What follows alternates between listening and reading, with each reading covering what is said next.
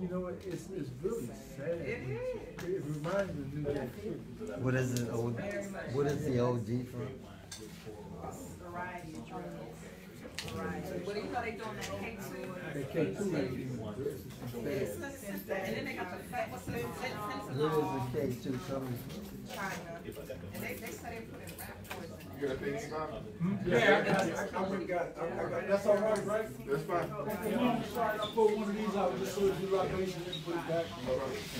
Good? That's fine. So, so how you, And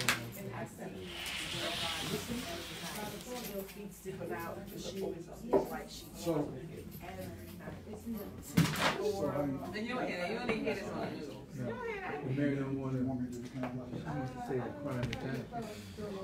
And not do my little spill, we don't have a problem. And then that, and just cue me whatever else you want me to do, it's, it's no problem.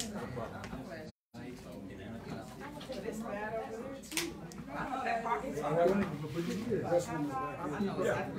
people are so messed up. I hear that a dude was smoking K two. He gets thrown out. Dude. Charlie. All right, one more time, family. Kuchakalia. All right, one more time so that everybody up and down, MLK, Good Hope, the whole Ward 8, the whole DC, DMV can hear us. Habarigani. Kuchakalia. All right, family, I want to thank y'all so much for coming out here tonight. Y'all could have been anywhere else in the world with us for Kwanzaa, for Kujichagulia, but y'all decided to be here, and you guys are in for a treat tonight, you know, because right here before us, we have a man, uh, um, Baba A. Peter Bailey, who just came back from Ghana. He has a whole lot to tell us to report on what happened on the ground in the last eight days that he was there, and we're going to tie it into a very powerful concept that was laid before us a couple generations ago, and it's pretty indicative of the direction that we have to go in as black African people. And that concept tonight is Pan-African Federalism. Please say it with me, family. Pan-African Federalism. All right? So I know you guys are asking, all right? Kwanzaa, Kujichagulia, Pan-African Federalism, Ghana. What's happening here? How are they all connected? It's a very simple answer to that. All I'm asking is that you guys, you know, enjoy tonight, um, enjoy the festivities, and take in all this information. And as you're listening tonight, take it upon yourself to think of some very powerful questions. All right, because we're here to talk. We have until nine until 9 p.m. tonight. So I'm just asking if y'all can just bring it. You know, bring all you can, but at the very same time, listen, and also be on the lookout for what we have going on in 2019 as far as organizing in the DC area. Because what we have to do as black African people is be organized. We're mobilized right now. We've been doing a whole lot of mobilizing. Everybody has um, a network that they got. They have a business. They might have an initiative. They might have projects that they're doing. And a lot of us are doing the same things. But are we coordinated? Are we organized? That's the question that we got to ask ourselves. And if we're not satisfied with the answer, the next question I got for y'all is, how are we going to get there to be organized? All right? Yeah. Can I get an ashe to that? I shall. All right, beautiful, beautiful. So we're going to get started, and before we move on to the next portion, just want to remind y'all what we're here for. We got um, the Facebook Live going on right now, which is going to get uh, reposted by We Act Radio. So for those of y'all who are on Facebook watching right now, shouts out to y'all. Uh, once again, we're here for the Kwanzaa Kujichagulia celebration. And to open up this celebration, we're going to have none other than Baba Senghor pretty much to um, light the Kwanzaa candle and get us in, you know, set right. Bring the ancestors in and do what we got to do pretty much to get into space because we're all here for the season, right? Yeah, Beautiful, y'all. right. You ready? All right. So, uh, you know, first I just want to warm it up a little bit because, you know, in the spirit of what we're going to talk about tonight, we're, we're, we're actually are our ancestors. And for those who do not know what I mean when I say we are ancestors, just remember this word, blacktricity. Uh, throughout the Kwanzaa presentation, I'm going to explain to you uh, why uh, this, this term came through me. It's not mine. It's not about me, or she. It's about we collectivity for true sovereignty in the 21st century. We need blacktricity. Uh, blacktricity is a science term that I picked up on after studying Garveyism for so long and practicing Garveyism and actually serving as a president general. So I really take that serious because I believe that we need to come up with our own science power excellence. Blacktricity is much deeper than electricity. Blacktricity is produced through love. You don't need a plug. You don't need any of that. It comes from the Most High, as above, so below. So everything on the planet has to have blacktricity to live. But uh, I see my brother Cliff coming in here from BMO. Hey, brother Tubman City in the house. So, but but it's really important for us to recognize that we have to de-emphasize individuality. I'm gonna say that again. Kwanzaa, for me, de-emphasizes individuality. For me, Kwanzaa is a time that we're supposed to reflect upon collective work and responsibility, uh, cooperative economics, Kujichagulia self-determination, unity, Nia purpose, and of course, creativity and faith. Y'all got it? Mm-hmm. So it's our time not only to celebrate, it's our time to reflect upon what we've done in the past year and before that, and what we have not done, and what needs to happen, so that when we go in, and we just experienced one of the most powerful solstices of all time, and I don't have time to get into the science of that. But if you understand that no man created that, that was all created by universal order. And there is order in the universe. And we right now on planet Mud are out of order. Hmm. So we have to accept that responsibility. We can't just say it's the other fellow. I was taught by Garvey, I used to walk with Garvey, that it's about us. We put too much time talking about the other fellow. The other fellow is at war with us hmm. and trying to exterminate us and trying to stop us from moving forward and getting back. Now, everybody talks about the 400 years coming up 2019. All that's fine and dandy, but we go back way, way, way, way, way, way, way back, way before the transatlantic slave trade. So, anyway, without any further ado,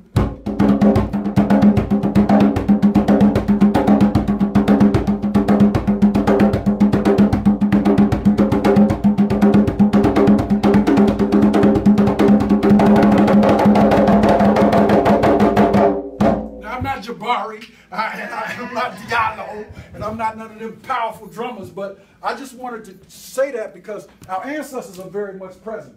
And we're going to do libation, and you're going to do it with us because we know libation is a spiritual way of connecting us to that blacktricity that I'm talking about. And we have to be connected. I don't care whether you're Muslim, whether you're Christian, whether you practice Judaism, whether you're a Yoruba, whether you're Archon, whether you're a Comitition, whether you're Voodoo, or whatever, a Buddhist, or whatever you are, it's one spiritual power that we have to recognize. Everybody with that? You can even be atheists, but science power excellence, some kind of way you got here, right? Okay. So without any further ado, we want to call on the Right Excellent Honorable Marcus Mosiah Garvey to have his drink. We want to call on Amy Jacques Garvey to have her drink. Amy Ashwood to have her drink. I'm going to call some names you may not have never heard of, but it's very important for us to know that all of those who went before us uh, created our path of where we are today.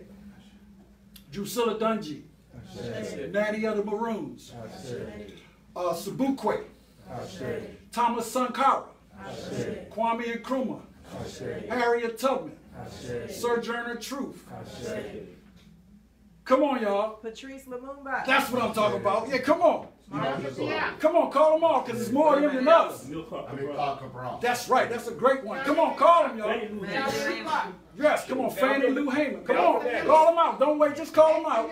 Come on. Malcolm X. Malcolm X. Come on. Carter G. Woodson. Carter G. Woodson. Duke Ellington. Come on, y'all. Khalid Muhammad. Khalid Muhammad. Bobby Wright. Bobby Wright. Oh, Francis goodness. Cress Welsing. Frances Cress Welsing. Medgar Evers. Medgar Evers. Worthy Muhammad. Yes, yes. Fannie Lou Hamer. Come on, call them all. Come on. Don't be ashamed. Hassanatu. Hassan Natu. Oh, yes, yes, yes. Sekou Touré. Sekou Touré. Kwame Touré. Chancellor Williams. Chancellor Williams. Oh, my goodness. Julius Nyerere. Dr. Clark. Joseph Ben-Jochannan. Yeah. Come on, Asa Hilliard. Imhotep. Julius Nyerere.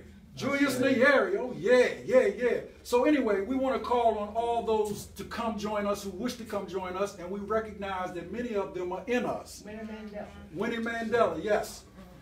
And we want to call on all those who names we may not know who wish to come join us to help us in this fight moving forward. As the Right Honorable Marcus Mosiah Garvey said, look for him in the whirlwind to be the real Marcus Garvey and to bring countless millions of ancestors with him to help us in this battle against this pus of the system of white supremacy that we are battling against. So I say Ashe, Ashe, Ashe, Ashe, oh. Sheo. Very good, y'all. Now, now we're going to do this Kwanzaa, and, and, and I know most of the people here know about Kwanzaa.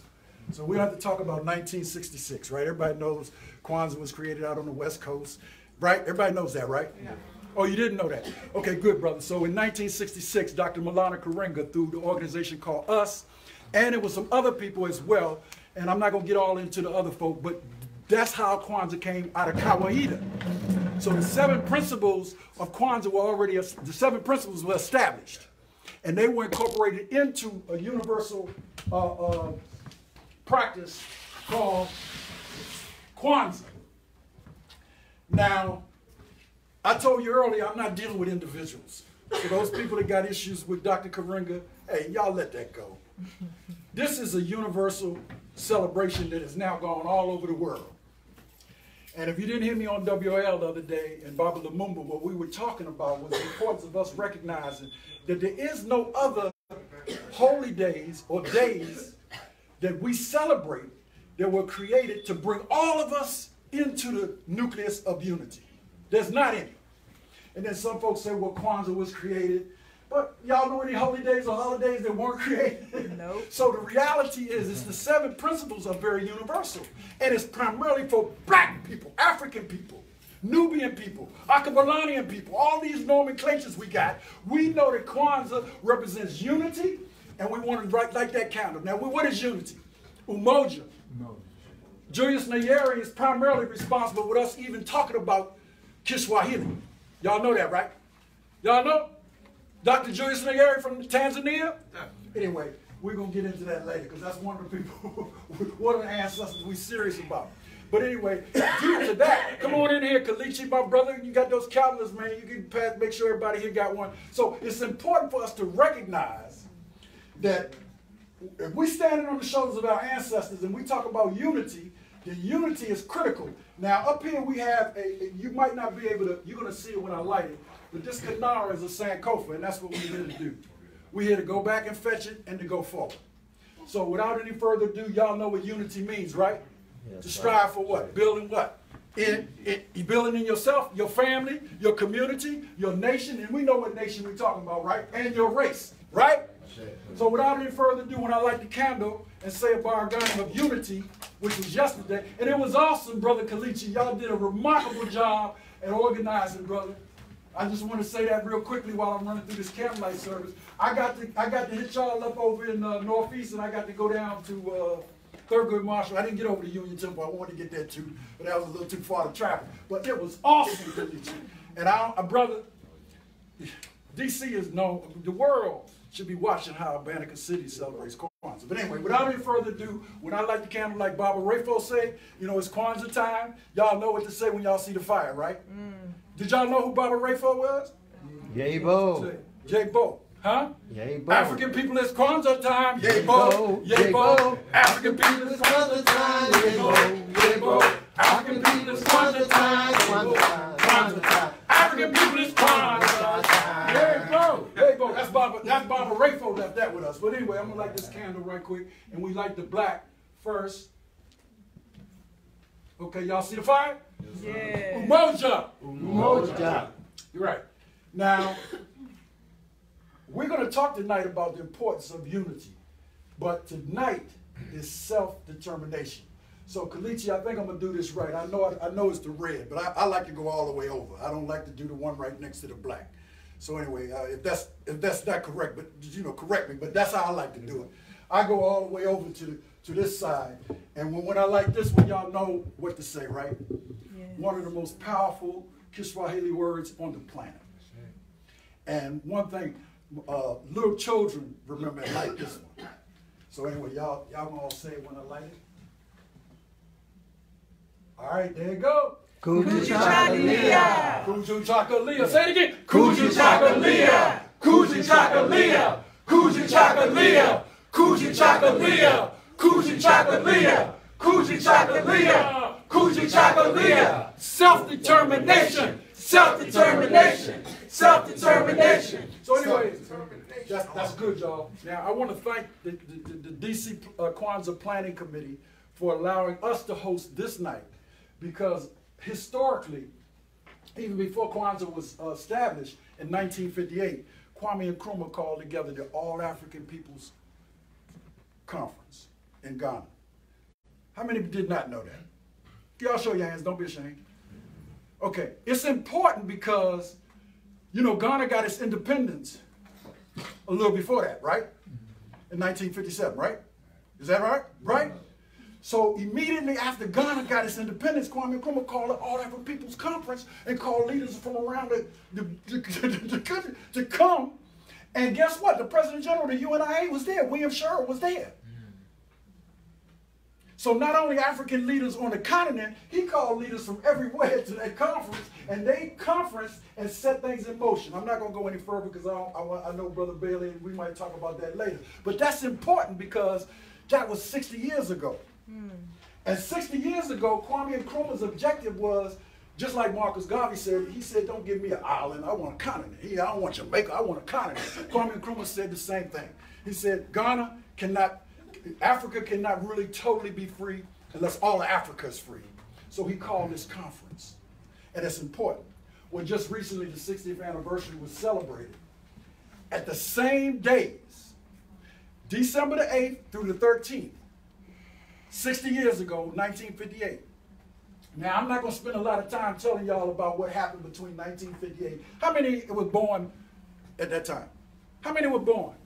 Cliff, Blam, Bam. Few of us in this room were born. But the fact of the matter is, we was on our way to get some what we call liberation on the continent. Y'all know what I'm saying? What Garvey left in 1940. So years after that, the revolution was rolling.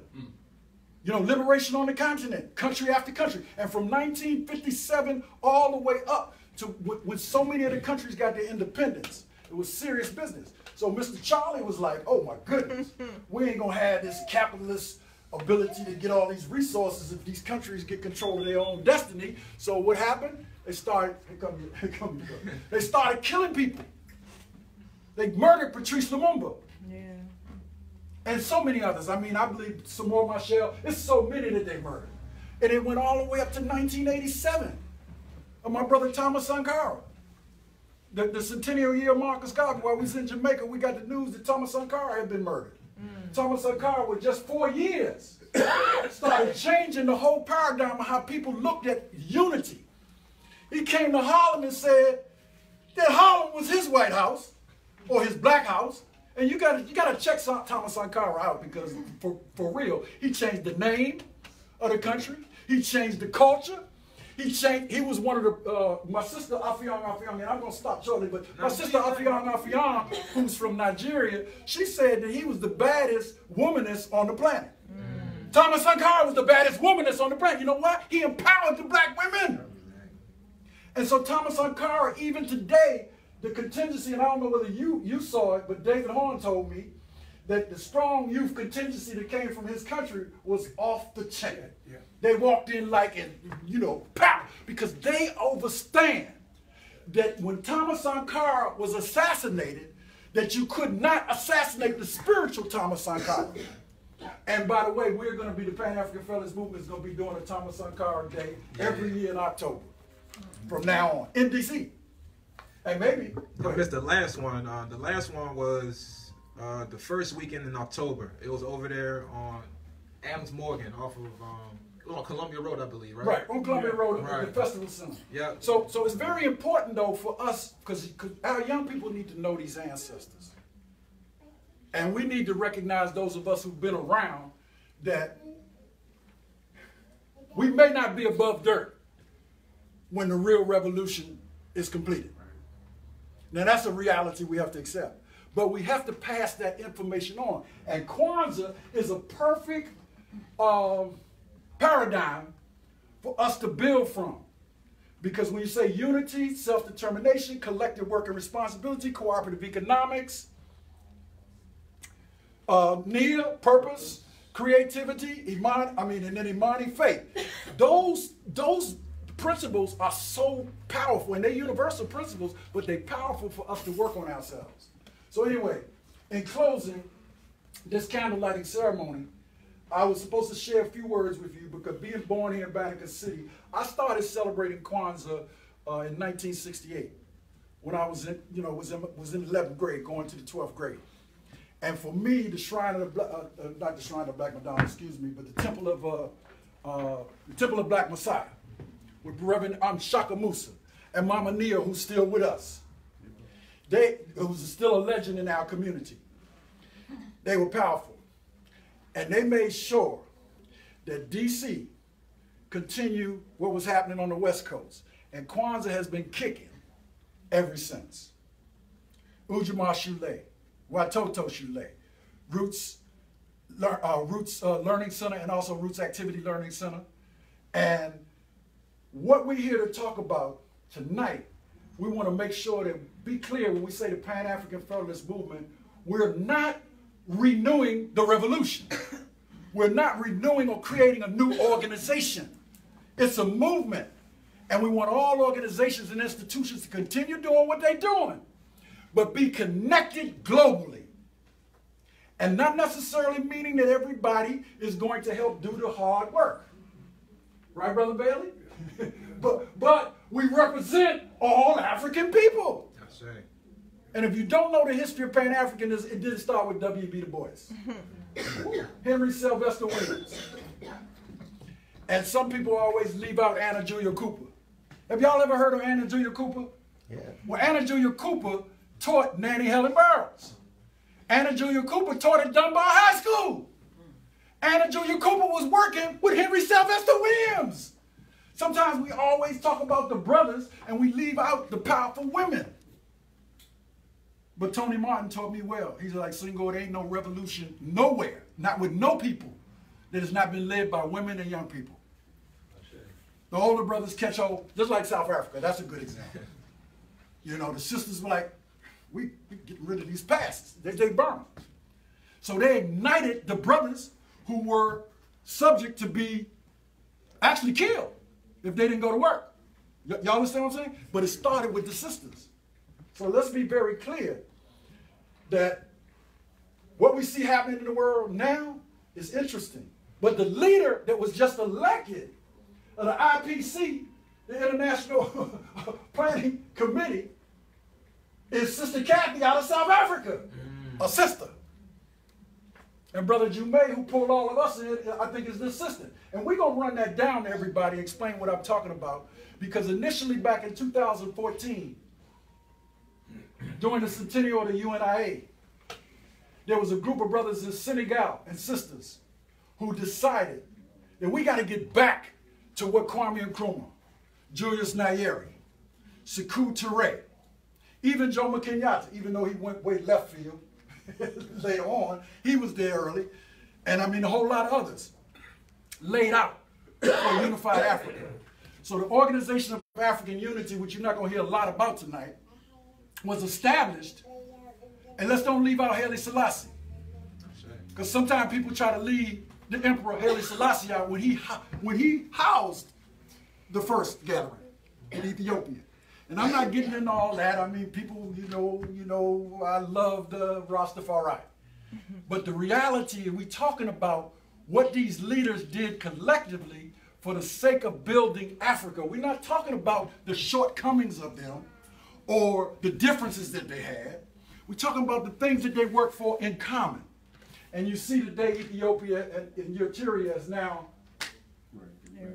that's deep, ain't it? Mm-hmm. In 1991, when Eritrea got their independence, we were having our convention in Los Angeles and they were right there celebrating. Mm. But so it's some interesting things going on. And in Rwanda, most of the people that run the country now are black, are, are Rwanda women. Did y'all know that? No. Yes. 80%. So there's something happening. And we need to recognize it. I'm not talking feminism, I'm talking womanism. And that's no offense to feminism, y'all. Womanism is when black women stand up and say, we sick and tired, like Fannie Lou Hamer said, of being sick and tired.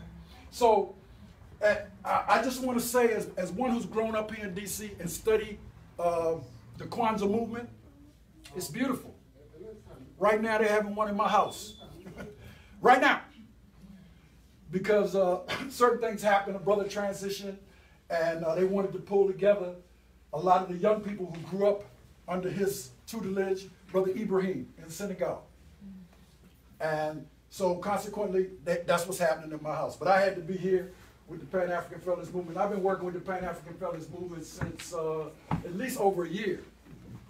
Back in May, we held our first gathering at the Davis Center, and we had brothers and sisters that came from everywhere and came to the Davis Center. How many here was there at the Davis Center? You were there, Ismira. Y'all, we were there. Well, i I'm telling y'all that from that, we were planning for this pre-Congress coming up that came just recently in December. And trust me, people came from Canada, from Philadelphia, from Atlanta, Chicago. from Chicago, Florida, from Florida, from LA. Well, yeah, I said LA. And- Atlanta. And, oh, and, and, and a brother actually came from Africa. And so, and Paris. exactly, in Paris, right. So the point I'm making to you all is it's been organizing. We've been organizing. And to set the stage for my brother Bailey and, and- and brother Sam, who is the leader of the legal, uh, Local the local initiating committee of this area, Brother Sam is. Over 80% of the people that registered at the conference in Ghana were young people. Well, you know, that's what I was told by, you know, my brother. Because the key with that is young people are very hungry. All over, East Africa, West Africa, North Africa, South Africa. So anyway, Brother Bailey is, is my elder, and uh, he had the experience of getting there. Brother Sam and I were supposed to get there. We didn't get there. I'm not getting all into those details, but we were definitely chartered to be there. Uh, the brother that is the head of RIC North America, which, as Brother Bailey has always stressed to us, we are a continent. And we have to look at ourselves as a continent where we have eight RICs, I think, around the world, eight regional uh, initiating committees around the world. They're in the UK, all over Africa, in the Caribbean, in so-called Latin America, and in what is considered the United States and Canada is RIC North America. Well, the brother that is head of that, Brother Amaseta, also known as Edward Brown, is in Florida. And uh, he was at the conference and he did a workshop. Later on, you're going to hear from our brother Bailey, and he's going to explain to you not only what happened at the conference, but his experience. Because the good news about brother Bailey getting there, and he'll tell you, he, he stopped flying a long time ago. but he got on a plane to go to this. And he took one of Malcolm's daughters, well, he, he, he invited her, and she went. So Samia Nkrumah, who is in Ghana, and remember I told you about the Senegalese connection, right? And Brother Jume and Brother Amadou Sek, who is out, uh, you know, works with the leadership of RIC. Well, Brother, Brother, Brother Bailey chose to fly there, and uh, Malcolm's daughter was there. And Samia Nkrumah was primarily instrumental in organizing and connecting us to the Kwame Nkrumah uh, uh, uh, uh, Institute, along with the Pan African Federalist Movement. So it's very important to understand Garveyites were there from all over, even from Belize, all over the place, but not just Garveyites. And I want to make it clear to you, we're not dealing with I'm into this or this, I'm into that. We're dealing with the issue that relates to the lack of Pan-African federalism or Pan-African functionalism in practical application. Meaning, we can disagree, but we can't afford to be disagreeable. Because that feeds the other fellow. And the divide, and this is important, the continent itself. It's a continent. All this divided country thing was broken up by the, at the Berlin Conference. I mean, you shouldn't have to get a visa and a passport to go from one country to the other country in our, in our country. And look, Africans here have, we're expatriates. And it's a whole lot of expatriates that are in Ghana and other places. Uh, my brother Harua Forai is in East Africa now, just bought land in Tanzania and living in Rwanda. So you see, Pan and you're not going to get this on the news, but they're brothers and sisters making moves. So if you want to expatriate, you want to be an expatriate, It's ways and means you can do that. Brother Bailey also got to visit a place, Jerry's place. A brother who's a Garveyite, who has been there, what, about 14, 13 some odd years? 14. 14 and married to a Ghanaian sister. I was able to go to that place. Marin Bani was there two weeks ago, or two weeks before you got there. And many people have gone there. They got an ancestral wall in Prampram, Ghana. That's incredible. It's incredible. And expatriates are all over the place. They they all over the place in Ghana. And the right to abode. And let me let me close on this point. Ghana is calling for this 2019 right to return. Year of return. Year of return. It didn't just start. Sister Amicus with One Africa been there almost 40 years.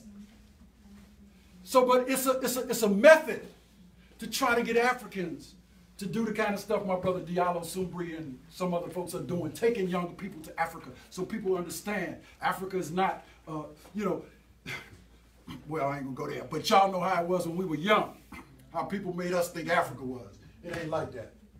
So anyway, Kwanzaa time is a very important time. Today, we're going to focus on uh, the Pan-African Federalist Movement and why we did this on Kujichagulia Day, why we chose to come to We Act Radio. I want, I want everybody to put a black hand together for Brother Kymone of We Act Radio. Because he demonstrated self-determination. Now, I, all, and I'm not going to go all into the story, but I mean, he's here. We Act Radio is here. And I applaud you. I think yesterday y'all did a book drive thing where you gave books away. I mean, Southeast DC, Martin Luther King Avenue. That's that's that's that, that, that is that is institutional building. And then right next door, that's building institutions. That's self-determination. So we want everybody to feel a connectedness to the Pan-African Federalist Movement. Uh, there's some chairs up here, my sister. You could come on up. There's a couple chairs up here. Y'all don't have to sit in the back. Or y'all can come on up. So I'm excited, and I want to, like like Sam said, I want y'all to feel at home. I want you to ask the kind of questions, and if we can't answer it, we will work to get the kind of answers that you may need. Is that not right, Sam? Definitely. So if it's okay with you, Brother Bailey, I, I covered a little bit during the question and answer period, I'm going to turn it back over to my good brother Sam, because what I want y'all to leave here with is understanding of what the Pan-African Federalist Movement is, and you probably will hear this word Pan-African Federalist, uh, uh, Pan-African Federalist Congress. And I told some people the other day that uh, don't take what we're doing lightly, but we're not interested in a lot of numbers of people. We're interested in people answering the call, continuing doing what you do, and being connected to brothers and sisters like you all over the world. Because one of the most important things you should learn from today is the only thing we're lacking in this war on us is enough power to get on the offensive and win. We got everything, y'all. We the best artists, we the best athletes, we the best all we got all that going on, but uh, uh, somebody else is profiting from it. As other people are profiting from the land in Africa. And get this, you may not ever go to Africa, but Africa is going to come to you once we control the resources. Because Africa is the most wealthiest continent in the world. The people are impoverished because other people are taking out all the resources of Africa back to their countries. We would not use this at all if it were not for the blood that has been run in the Congo. You would not be driving an automobile with Firestone tires if it were not for the blood and sweat of the young people who work on the plantation of Firestone's plantation in Liberia, Izmira, that they don't even own, that was earmarked for the Garvey movement. Yes. So we have to understand that we have to get busy changing the paradigm and switching things. And don't be afraid. The opposite of fear is love. No, I'm serious, because they already are exterminating our brothers and sisters. And I'm not advocating, you know, anything other than you exercising your blacktricity. Raise it up. All that's going on, don't put all your energy in what's going on with 45. Forget that. No, I'm serious. Forget that. I'm not. So, I'm not talking about. Don't be conscious of what's happening, but don't put all your energy into what's going on and whether they're gonna get rid of him or this. Because ain't no president, and crew Barack Obama, ever got in the White House practicing Kujichagulia for African people. That's just not real. In fact, we would not have Donald Trump if we didn't get Obama. I mean, think about that. Mm-hmm. Anyway, without any further ado, and, and we can get down to the local politics too. Yes, sir. All right? Yes, sir. because be very clear, just because you got black politicians, if they're not working on issues, and this war that we're in right now, we really better take a close, close look at what the so-called black faces in high places mm. are doing, compromising with the other fella. Sam wanted me to touch on that because DC still is a Democratic town, but it's still a low voter turnout and everything. And consequently, the people that we really want to win normally don't.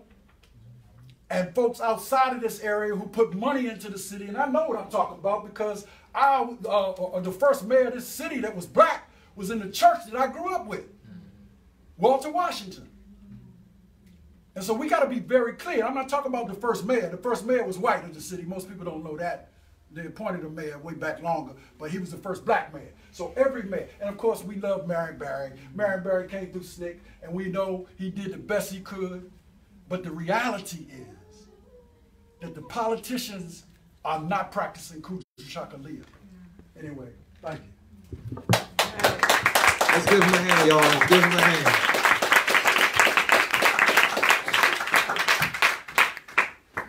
Baba Senghor, I really, really appreciate that. And I'm just going to use the mic because I don't have a voice quite like yours. Um, but what you were saying just now uh, provides the perfect foundation for what I would like to speak about in terms of Pan-African federalism. And this goes back to what I said in my opening remarks earlier. Just connecting what Baba A. Peter Bailey is going to drop on us tonight. Pan, that idea of Pan-African federalism in just local politics. What do all of those have to do with one another? And not to forget Kujichagulia, right? So let's revisit Kujichagulia real quick, all right? And I'm going to do my best to organize what I want to say in my head because it's just so much that I want to impart on y'all to make it as simple as possible. And it's very simple, right? Once you understand Kujichagulia and Pan-Africanism. Now, um, anybody in here younger than 20 by any chance? Or in their early 20s? Let's do 20s. All right, so my 20 year olds, all right? Kujichagulia, what does that mean? Self-determination. Self determination. What does self determination mean exactly? determine your fate in terms of what you, your destiny is, your potential, and you know you make your way to it. Ashe, right? So determining your own path, charting your own path. Any of the takers about Kujichagulia? I think a lot of it, self-determination, also have to do with uh, having the right knowledge because you don't you don't want to make your determination off of nothing. So it has to have a base that is rooted, usually, hopefully, within your own culture and actual knowledge of the world, so that you can really make a self-determining decision. Exactly. So what we're talking about here as a black African family is being able to chart our own path, right? To make our own destiny. And I would like to add to what my fellow uh, so-called millennial said, defining ourselves as black African people. Who are we? What is our culture? What are our social norms? What is it that we do as a family? When we're talking about organizing, how is it that we organize? Do we organize according to their paradigm or do we set a new paradigm, right? And when we're talking about Kujichagulia, you have to understand that self-determination is a human rights issue. It's not just civil rights. We're talking about human rights. How can I, as a human being, once I am out of the womb in this realm, how am I able to chart my own path without obstruction from the powers that be? And the honest answer to that is, for at least 400 years, we as black African people on this continent have not been able to do that. And that continues to this day because we collectively have not been able to grasp this idea of human rights, being able to be sovereign over our own affairs and being able to control our own destiny as black African people, not only as a nation, but as singular families and as individuals. But how can we control our destiny if we don't even control our education systems, if we don't control where our water come from, if we don't control our media, right? If we don't control who gets in the office, if we don't control various aspects of our lives, how are we able to do that? But I also have another bomb to drop on y'all, right? We're not the only ones in this world who are going through similar issues. The fact remains that because we're locked down here, there are people all around the world who look just like us, who have common lineage back to the mama Africa, who are going through similar situations. It's along the lines of what Kwame Nkrumah call neocolonialism, the last stage of imperialism. Now, for those of us who don't know what neocolonialism and neoliberalism is, it's a system, right, where they make you feel that you're independent nominally. Mm-hmm. So you're only independent in name, okay? You have your own city, you might have your own organization, you might have heads of state, people who are in power who look just like you, who were voted in democratically, so they say. But at the very same time, in this day and age, we have corporations who are running the show, okay? We have corporations, you know, it might be about six or so of them who control every aspect of our lives, who at a moment's notice are able to pour money, okay, into various facets of the people who control what we do, who are able to manipulate our existence on this earth. And they are the ones who are competing against people in our community, the small business owners, right? When you're thinking about people who, you know, um, who make shirts, who make jewelry, who make, you know, wares and different things like that for our community that you see vending throughout. You got to think about, and uh, this for my economics folks, the means to production, right? Where are they getting the material from? Who's the plug that's helping them get everything wholesale before they sell it? Is it a black African face? If they want to find a black African person to buy wholesale material from, where are they going to get it from? Oftentimes, the answer is not as simple as it seems, and that's because of neo neo-colonialism. That's because of what the market has done over the last few decades or so to concentrate power within the hands of the few. Now, Sam, you've been rapping for a very long time about international issues. What does this have to do with DC? Okay, I'm about to break it down to y'all. Okay, what happened on Sheriff Road in front of the barbershop this past summer? Okay, we're talking about the gentrification here. How is it that we're always the last ones to know about what's going on, right? Even with people in power who mean well, we're always the last ones to know what's going on, right? How is it that you have people, you can't even get a loan now for a bank. You have to go through hoops and hurdles to get a bank loan. Even if you own a small business, you understand? They want to see tax information. They want to know the name of your first and last born. They want to know A, B, and C, and D about you, right? Even with the black banks, okay? The black banks are backed by white institutions, white-owned institutions. So no matter where we go as black African people in D.C., we're caught up in a corner where we're not quite self-determined just yet. And let's break it down even further, right? You have a DC council which revoked the vote, right? Now understand, right?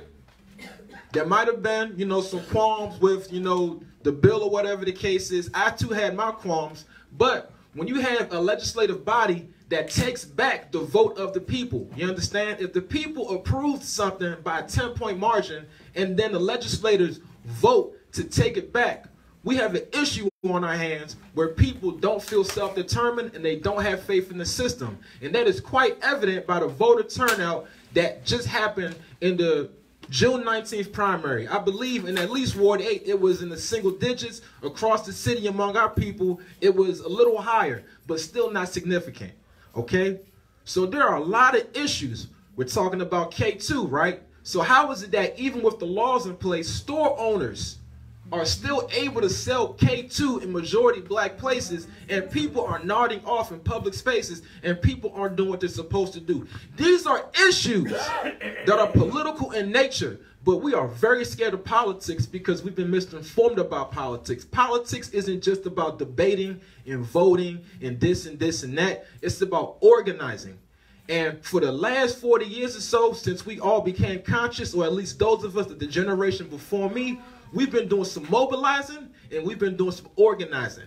But the issue is keeping our institutions open and passing that knowledge from one generation to another and making sure that everybody who's doing the same thing are organized and can exchange resources toward one common goal. So today's presentation is twofold. The first is to give Baba A. Peter Bailey a platform to speak about his Ghana experience and to speak about the issues at hand.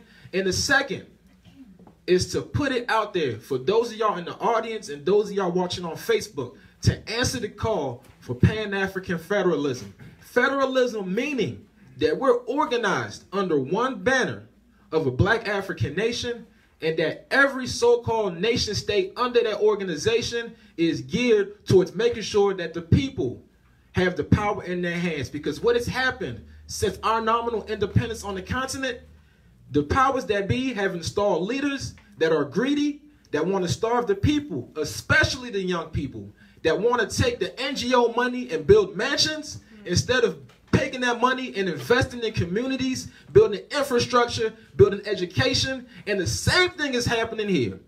We have crumbling infrastructure for places in America. Bring any African immigrant over here and have them ride a lift. They will tell you there are more homeless people here than they thought. I've heard it with my own eyes and I've seen it with my own ears. The same thing's happening here. But the question is, how are we going to organize as black African people in DC toward the common goal of taking hold of our own destiny. All right. And you have to understand that we're going not for United States of Africa, but for United African States. There's a clear difference. Break it up, break it up. break Clear it up. difference. Break it up for him. The fact remains that we all come from Africa. Pangea, y'all, okay? There was some truth in what they taught us in school. So we're all spread across the world. So this here DC, the little bit of Chocolate City that's left is an African state. Mm-hmm. Baltimore City is an African state. Chicago, Illinois is an African state. But the question is, are we organized like an African state? At this point, when people have a clear understanding of Pan-Africanism, especially with the immigration and immigration happening across the Atlantic and wherever else, people understand now more than ever our common African heritage. So we have more leeway now, or we should have more leeway, right, to take advantage and build amongst ourselves pretty much a federation. And my question to you tonight, for those of y'all who are in here, is are you guys going to be a part of building that federation? Are you guys going to look within yourselves, right, and figure out your talents, what you have to give, and decide to become a part of that federation? Now, like Baba Senghor said, nobody's telling you to do more than what you're doing already. That's asinine. That's very stupid. That's more work than we have time for. That's right. The answer is to organize. We're talking organization. You're doing what you're doing in the education realm, perfect. Keep doing it. But understand that you have people in the same realm who are doing the same thing. You need resources from them, y'all trade resources. If somebody in the banking realm needs something, we need to confer with the education realm, organize around that. What are our goals that we're going to set for 2019? How can people in each realm help us work toward those goals? It's not extra work, it's being organized, but it's a matter of if you're willing to answer that call. If you're not, no hard feelings. But if you are, let's get down and dirty because 2019 is going to bring town halls, gatherings, planning around how we as a black African nation in DC can organize everything that we have toward building sovereignty, not just here, but all around the world. And one more point before I wrap up. Pan-African federalism is not only a matter of human rights, it's a matter of diplomacy. There's a reason why, you understand? There's a reason why in New York, after that Asian police officer gunned down the brother in the project stairwell, and when he got when he got convicted, and those Chinese people came out there in the streets and protested, there's a reason why he got off. Do you guys know why? Because them Chinese people are backed by a whole country across the Atlantic Ocean. Who's backing us over here? Hmm? Who's pressuring the African leaders across the Atlantic to look over here at us, what we're going through, to figure out the similarities? Who? Very few people. Julius Malema spoke on it publicly, right, in recent months, right? But other than him and a few others, who else is doing it? Who's pressuring the young people? Or what young people here among us are organized to pressure the leadership to bend stuff toward our will? Or are we asleep at the wheel until it's time to vote? And even those of us talking about voting, we're always using scaremongering tactics, right? forgetting that we've all been cat, we, that we've all been caught in the Babylon hell. So I'm going to stop here for now because we have a whole presentation to go through and a whole interview. I'm asking y'all tonight. Think about answering that call. There was a whole sign-in sheet that just went around. I need a name and I need phone numbers, phones that work. Y'all pay that bill. Y'all make sure that when I call y'all, y'all answer the phone. No emails, because I ignore emails too, or I, or, or, or, or I answer them later on. We need names and phone numbers because we're going to follow up and we're going to build our part of the Federation here in DC. It's time to not just talk about Kujichagulia, but work toward it. So, several points to run back down before I shut my mouth, all right? Self-determination, right? Creating a name for ourselves, all right?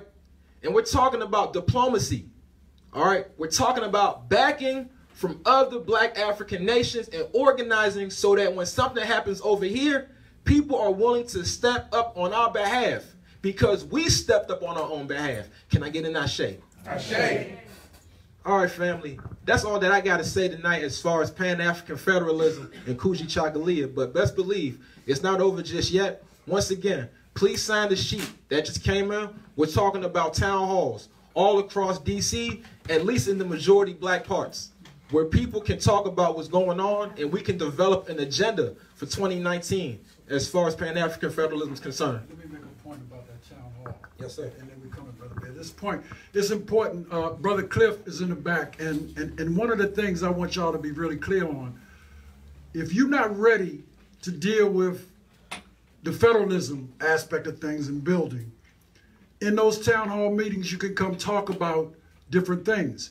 We will be partnering, Brother Cliff, with the 6th Region Diaspora Caucus that is doing exactly what the African Union asked us to do in terms of organizing. So I hope y'all understand what I'm saying. What I'm saying is the town hall meeting is, is, is designed for us to come together and work and organize. And organizations are not invited by the African Union. Civil societies are. Right, Brother Cliff? Now, Brother Cliff has already started doing that kind of thing in Tubman City, and other people have started doing that. Brother Cliff also is going to be working with the Pan African Federalist Movement. But what I'm trying to say to you all is we want to go through every door that's got a crack in it. Got me?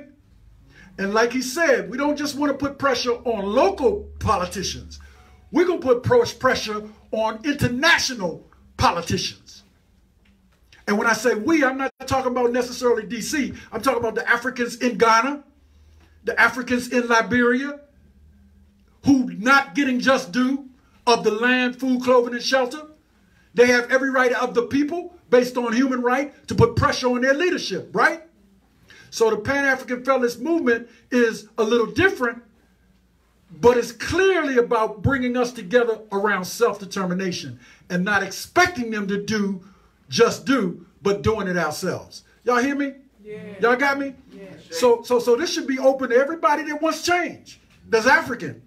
The town hall meetings, because brother, brother, uh, brother Sam is going to be working with my brother Cliff. Uh, they have a council of elders in Baltimore. I've seen them at work, but this is also happening across the country, different other places. So when he was talking about us getting support from Africa, we can also get support from Chicago. We can get support from Tubman City. We can get support from different other areas. That's extremely important in unity and self-determination. I'm going to pass the mic back to my brother now. I wanted y'all to be clear because sometimes people, he gave you a, he gave you an option. I'm saying you don't have an option. You got an option to come be a part of this or you got an option to be a part of that. You came to Kwanzaa, you about self-determination, your options are left or right. Because we are serious about understanding that we may disagree, but we don't got time to be disagreeable. And I know when Brother Elder, Elder Bailey finished with us, you're going to best understand where Malcolm was leading us. All right, family. Um, let's get one big ashe, y'all, for everything that was just said, y'all. Ashe. Ashe. All right, bet. Now, I need a timekeeper, y'all. What time is it, family? All right, 724. All right. Um, what time should Q&A be, y'all? I want to make this as natural as possible. By 8.30? Yep, All right, 8.30 Q&A is good. We're going to give Baba Peter um, one hour of our time. It'll just be a strict conversation, right? Real nice Q and A. But Baba Peter, uh, We're gonna set this up, as we're gonna hold the mic. No problem. I know we gotta get to some of this stuff, right?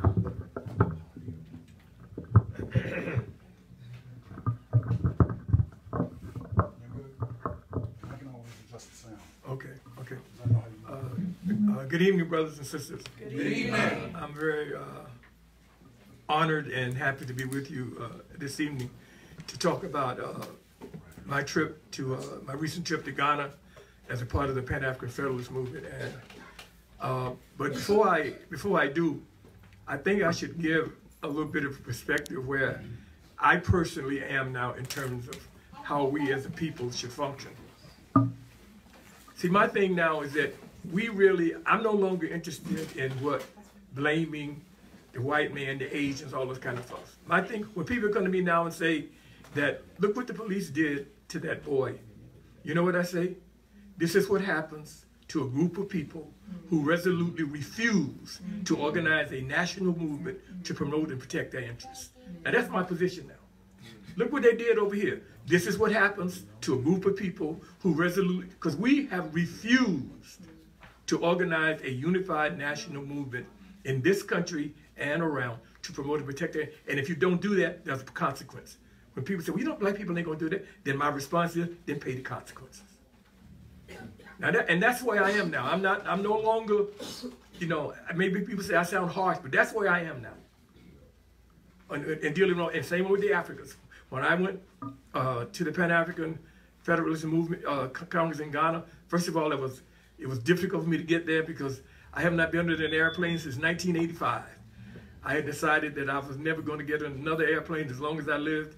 Uh, although I had been before I made that decision, I had been to uh, uh, East Africa, Rio de Janeiro, uh, Mexico City, Cairo, and different places around the country. I had already flown. And it wasn't really, a, I was always a bad flyer, never liked flying. But I did it because I, you know, with my job, I was, I was with Ebony Magazine at the time, I was a staffer with Ebony Magazine. And, uh, and then one day a friend of mine, she had a flight that left her for about three weeks, totally messed up. And when I saw it, I said, that's it, no more flights." And, and uh, I went on this trip for two reasons. Well, three reasons, mainly because I really wanted to go to the Pan-African Federalist Congress because of the opportunity to meet people of African descent from around the world. Number two, uh, I wanted to go to Elmina. It was an opportunity to, to go to the, the door of no return in, uh, in Ghana, El, uh, El, Elmina, they call it. I, I wanted to experience that because people I know who had experienced it had told me about how, uh, how powerful it was. And number three, my close friends and my family members told me I was getting on that airplane if they had to tie me down, drag me to the plane, and tie me in my seat. Uh, uh, that I was going to get be on that plane going to uh, going to Ghana, and uh, and number four, it was a direct flight. Believe me, if it had not been a direct flight, I would not have gone. Cause I don't like going up and then coming down, then got to go up again. So, I, so we went from uh, from from Dulles to Accra in about about eight hours. And and and guess what I flew on? South Africa Airways. I mean, that was a real something flying on South Africa Airways. To, and the plane was going from from Dulles to Accra, then from Accra to Johannesburg. I must say that both going and coming were two of the smoothest flights I've ever been on in my life. Though when I first saw the plane, I you know I was still flying back, but they didn't have those. I stopped flying before they started having what they call these air buses. So when I came out there and saw that, that's said, man, there's nowhere in the world that this thing with five or six hundred people and all those suitcases is gonna get off the ground.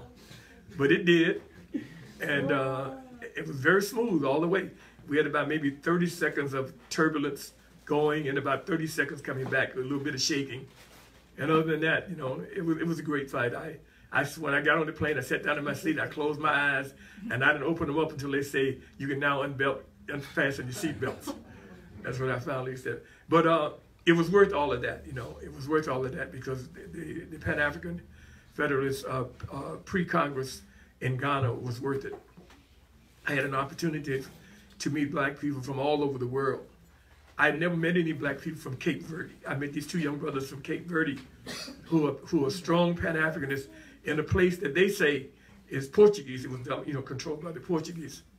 And, and, uh, and Pan-Africanism is very frowned on there. In fact, to the extent of this I had never heard before. These two young brothers told me that in Cape Verde, you can change your name to a French name, a German name, a Russian name, a Chinese name, but it is illegal, not socially a problem, illegal to change your name to an African name. That's what these young brothers told me about Cape Verde. Now, I, I you know, I have to take that word for they live there and they're serious. But uh, I had never heard that before. And then I met a sister from Argent who came from Argentina, and she told me I knew there was some black people in Argentina, but but I thought there was a you know small group. She said no, there are over two million people of African descent in Argentina, but said the government acts as though we don't exist. So she was there. There was a sister from Mexico, uh, representing the black people from uh, from Mexico, and and her, her family has founded an Africana Mexicana museum in Acapulco. And she wanted, she said, I hope you will be able to come to, to visit our, our museum. Uh, I said, well, I've heard about, you know, of course, about black folks in Mexico, but this, they now have, have a museum that tells the history of black people in Mexico that this young lady's family uh, launched. And I told her that when I can get to Acapulco on the train, I will, uh, I'll come down uh, to Acapulco to, uh, to see this museum. I met a brother from Belize. I talked to people from from you know Canada and black people from Germany and, and England and Niger and Nigeria and I mean I talked to black people from at, least 25 different countries while I was there and that was absolutely you know one of the great great things about being at that at that uh, at that congress to talk to people from all these different people all these different areas and see how committed they were to the concept of Pan-Africanism and Pan-African federalism. Uh, this right here is a T-shirt that was the official T-shirt for the event, uh, and it's called "Africa Must Unite." Now I don't know what these brothers think, but they've never had any larger than than extra large. So I couldn't get one that fit me. So I, I said, well, I'll just buy one anyway, maybe give it to my grandson. But I never could get one that fit me because they, they wouldn't. I said, you know, there's some people, you know, who like 2X and 3X, that kind of thing, you know, but they, they but they only had, the furthest they went up is, is extra large. So uh, I finally bought one, you know, to give to my, uh, to my, to my grandson. But uh, it was a powerful event. Now, uh, on opening day, the president of Ghana was there. That was my second time hearing him speak because I was attending a press conference in New York, I think it was in November, in which the Ghanaians announced uh, what they called the year of return. Ghana is making a serious concert, concerted effort to get people from this country, people of African descent from this country, to come to Ghana in 2019. They say for two reasons. One, to celebrate the resilience of, of African people, and two, to commemorate the 400th anniversary of the first African people coming to what is now North America. And uh, so uh, uh, in, at that press conference, and, and they issued, they, they passed out this thing here at that press conference called uh, the Year of Return, Ghana 2019, a proclamation. This is a proclamation that the, uh, the president of Ghana was there, the Ghana's ambassador to the United States, Ghana's foreign minister, and Ghana's uh, minister of tourism was at this thing at the National Press Club here in D.C. So they're really serious about this. And they said they're going to do everything they can to make it easier in terms of, you know, getting visas and all that kind of stuff for, for people of African descent to come to, uh, to uh, Ghana in, in 2019. When it was my time to, uh, to speak, I was on a panel. Uh, I started off by showing them something. And I'm going to do the same thing here. This is a supplement that was in the 2009 issue of the Washington Post. And I told them that you should understand the Washington Post is one of the three national newspapers in this country, along with the, uh, Wall Street Journal and the uh, New York Times. And this was a supplement that ran in 2009. And I told them, I said, now you will notice that the headline of this supplement is Africa on the agenda. Africa on the agenda, not Africa's agenda. Africa on the agenda. And then the subtitle, I'm a journalist, you know, so I'm very uh, strong about words. The subtitle is Africa, the key to global economic growth. Africa, the key to global economic growth. This is supplement right here. Now, I said to myself, now if I was in, from coming down here from Mars and somewhere, and I read saw this thing, I said, damn, those people, the African people must be the richest people and most powerful people on earth. Mm. The key to global economic growth. Mm. When I, I read this, and I said, what to me, what this basically is saying to us as a people, both on the continent and around the world, is you know how you know when, you, when you're out in the kids out in the streets and you say, "Yeah, I'm gonna do so and so, so and what you gonna do about it?" But that's what they're saying with this. Mm-hmm. They're not even trying to hide mm. be. They're, they're, they are saying they're basically saying to us, "Here's what we see Africa's role is, and what y'all and, and, and, and nothing y'all can do about it." Africa on the agenda. You cannot there is no better way to understand how they see us. And I also told them that when we talk about, as a member of the Pan African Federalist Movement, and, and that our position is that there's no option. There's no option. African people on the continent will become continental, or we, and that's people of African descent around the world, we, not the white man, not the Chinese, we will be condemning our great grandchildren to be forever at the bottom in the international arena. Now that's just the bottom line. If we go back to my position about this is what happens to a group of people who refuse, these people are letting us know. So we can't say that we don't know. They're saying straight up front, Africa on the agenda. And this is the point I made when I did my presentation at, at, at the uh, uh, at the uh, at the at the Congress, because we have to understand this. We can now when we talk among ourselves, we can talk about spiritual and cultural and those kind of things. But when we're dealing with these these leaders, both in this country and on the continent, we got to let we got to say to them and, and to our people in general. I mean, we can't just talk, of, you know, in, in spiritual and we got to say we're talking about something for which there is no option. Africa will either become continental or it will be forever at the bottom of the international arena. And our position with, with the Pan African Federalist Movement, we don't say the United States of America. We say the continent of North America. This is a continent. And no country on the African continent can negotiate with a continent. Let me sit down with you and smile at you across the table for couple of days to make you think you're doing something. But in the end, they're going to tell you, well, here's what's going to go down.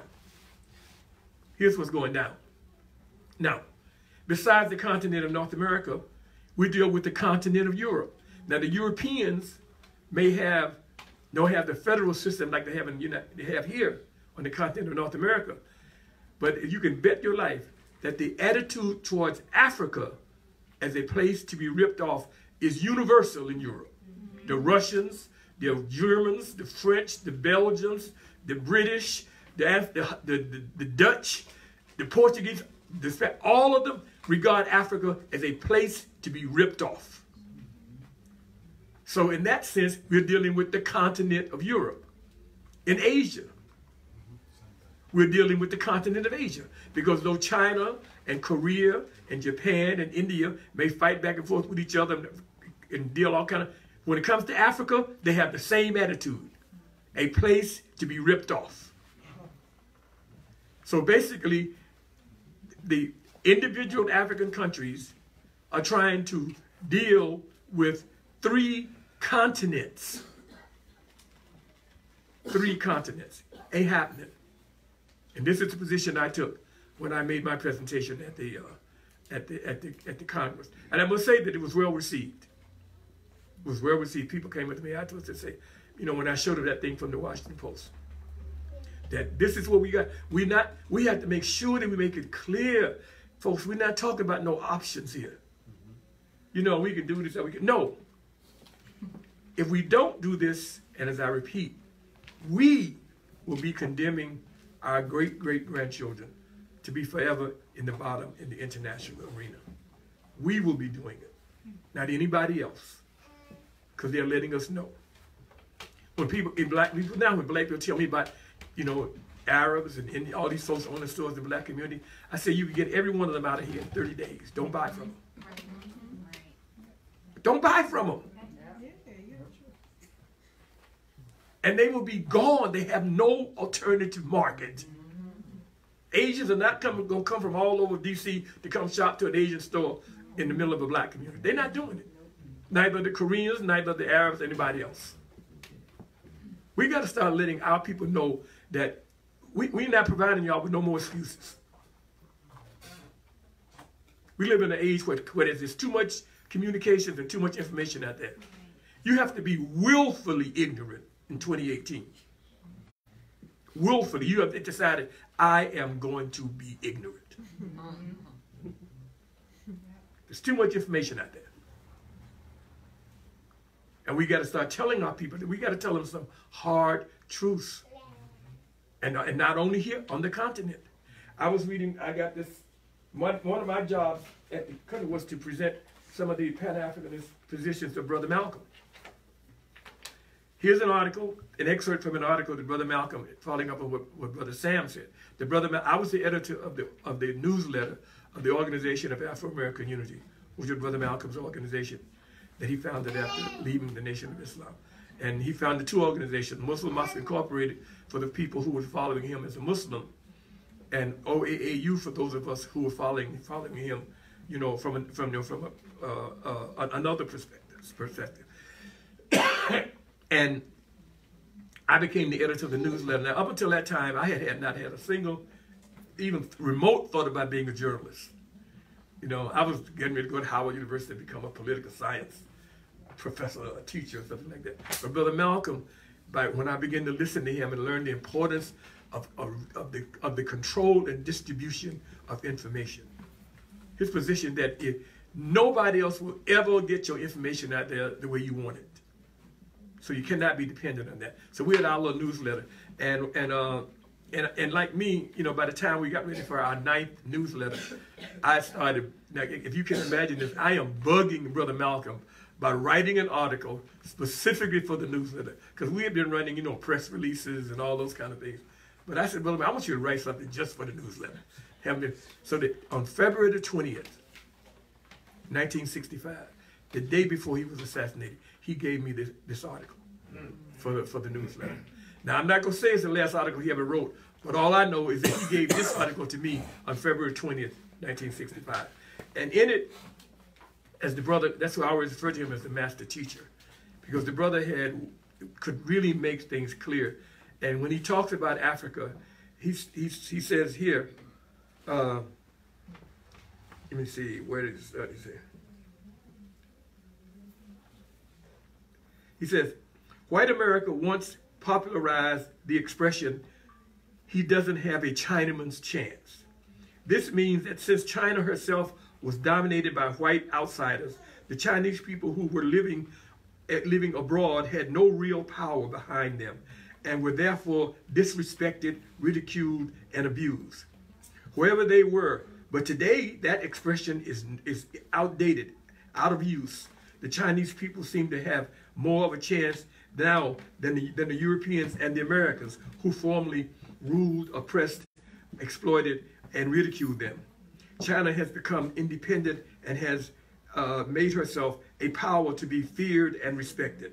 Although the Chinese are still, although the Chinese are still not loved by the whites who formerly oppressed them, Chinese people are now given respect wherever they are because they now have a strong and independent motherland behind them. And their own individual strength and respect, uh, wherever they may be, comes from that collection, collective strength and respect of their mother country. Black Americans who are now who are tired of being low man on the white man America's totem pole can learn a lesson, uh, lesson in this. Our own strength and dignity and respect are are, wait a minute, it went over to two, one page too much. Are inseparable, are inseparable from that of our mother continent, Africa. As the nations of Africa become independent and the image of Africa and the African people changes from negative to positive to an image of dignity and respect, only then will the image of the black American, the, the Afro-American, uh, also change from negative to positive to an, to an image of strength, unit, dignity, and respect. So, so as you notice, Brother Malcolm does not talk about Pan, Pan-Africanism as some kind of, you know, just as a spiritual and cultural thing. He's being very practical. A strong continent of Africa provides protection for people of African descent wherever they are in the world. If Africa was strong as a continent, there's no way that Cape Verde, Cape Verde could say that you cannot legally change your name to an African name. There's no way they would be able to do that. Now, what are we talking about in terms of, of, of, of wealth? In this same little thing, I took this, I put this together to take with me some quotes from different sources from Brother Malcolm and other, and other black Pan-Africanists. I took it with me to, uh, to, uh, to read from while I was over there. And I came across this article from a book called South Africa Inc. They, they, the book was called South Africa Inc. You know, like South Africa was a was a country. I mean, not a country, but a corporation. And here's what it said. Uh, another approach is to examine South Africa's mineral reserves on which the economy of, oh, listen to this, on which the economy of almost entirely dependent. The country, including the illegally occupied Namibia, now this book came out in 1986, is the Western world's biggest producer now, folks, listen to this. South Africa alone, according to this book, South Africa Inc., written by three white writers, says that uh, the country, including illegally occupied Namibia, is the Western world's biggest producer of gold, platinum, uranium, gem diamonds, chrome, mag, manganese, manganese ore, and vanadium, which is used to make high-grade steel for the oil pipelines. The value of its minerals is, is exceeded only by the United States. Together, they account for about 60% of all exports, and, and gold alone provides nearly a half South Africa America's gold mines, produced 670 tons of gold in 1985, well over half of the Western uh, production. Coal is there. I mean, you see, this, now this is not even talking about the rest of Africa, what they have in terms of minerals. And brothers and sisters, I guarantee you that even in the days of independence, that I'll guarantee you that, that all that stuff we're talking about, less than 10% of it is in the hand of, of people of African descent. As we speak today. I saw recently that in South Africa, though black people are 85% of the population, only 6% of the land is owned by black folks in South Africa today.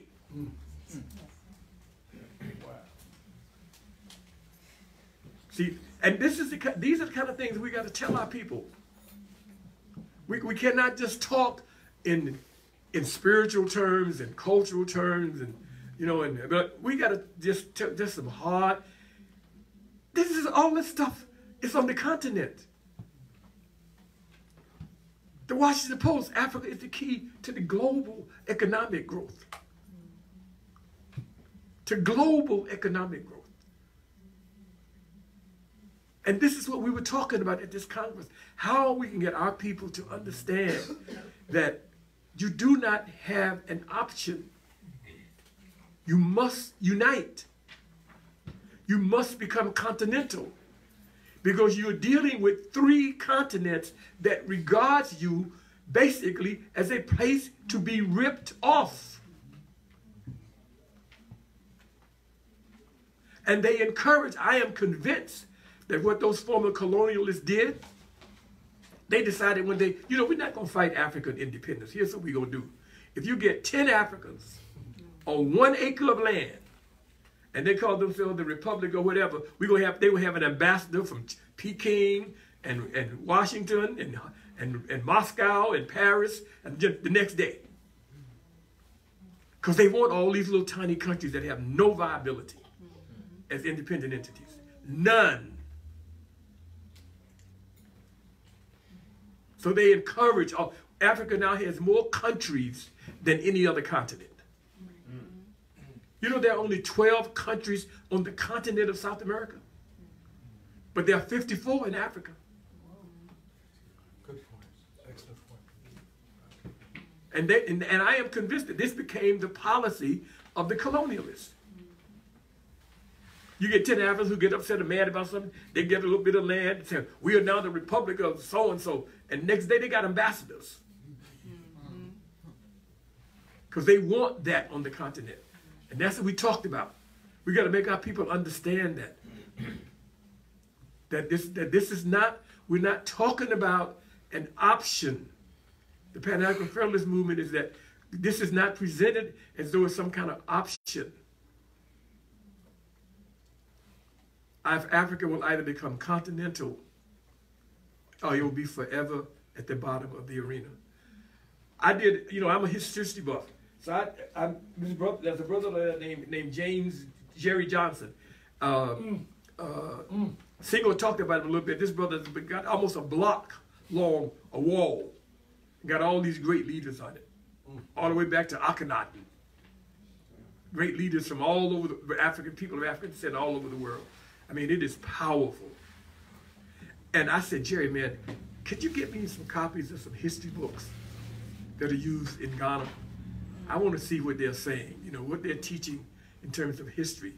Cause, and I did that because when, back in the 1970s, when I first, when I went to East Africa, I was at a luncheon, and there was a, there was an attractive young woman who was a Kikuyu, who was the same uh, ethnic group. You know, I don't say tribe. It's the same term they use for European groups. They call them ethnic groups. They don't say tribes. She was, she was a Kikuyu. And so we were talking, and she kept referring to the Mau as terrorists. So finally, I, you know, I, you know, I just couldn't take it no more.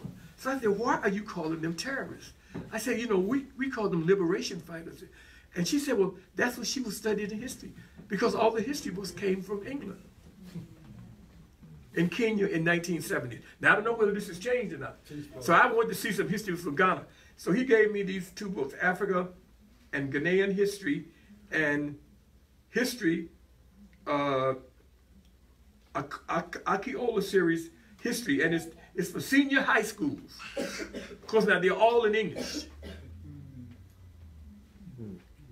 That's some, that was one of the things I saw when I was in Ghana. I'm telling y'all, when I was in Ghana, and we were, we were riding down. By the way, folks, let me tell you, they drive crazy over there. You think you seen some crazy driving over here? You ain't seen no crazy driving till you get on those highways, that into that thoroughway. Man, I'm, I rode out there to this brother's place as a passenger seat. I came back. I said, I said, I don't want to sit in the passenger seat going back. I'm gonna sit in the back. So at least I will see, you know, what's going on. I said in the back seat, man, I did not want to sit in that passenger seat because by the time we got there, I was like this. I, it was worse than the airplane flight. but all along the side of the road, all of the all of the signs, the land, what they call it, the, what's the big signs on the side of the road? Billboards. billboards. All the billboards, all the store signs, even the small liquor stores, all in English. Every single one of them is in English at the university where the University of Ghana, where we had our meetings, you know, the building is called the Dean of Missions, the Dean of, all of it is in English. And the his, these history books are written in English. But I must say, I've just had a chance to really read them yet. I've kind of glanced through. And they, they, they, got, they, they seem to be doing some serious stuff. I've been very pleasantly surprised thus far. Hmm. One thing I have a problem with this one, they use terms like the New World. And I, I, tell people, wait, how could, what do you mean new world? People have been living over here, what is now North and South America, for centuries before the Europeans came. So why is it a new world? Millennia. You know, you could have, I said, if you're going to say that, you should say new world to the Europeans. But they make it sound as though there was nobody here.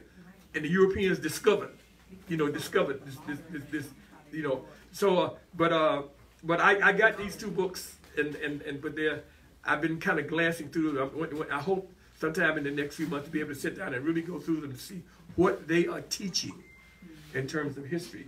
That was my. Uh, this was this was a a weekly newspaper because they're all in English. This is a weekly newspaper.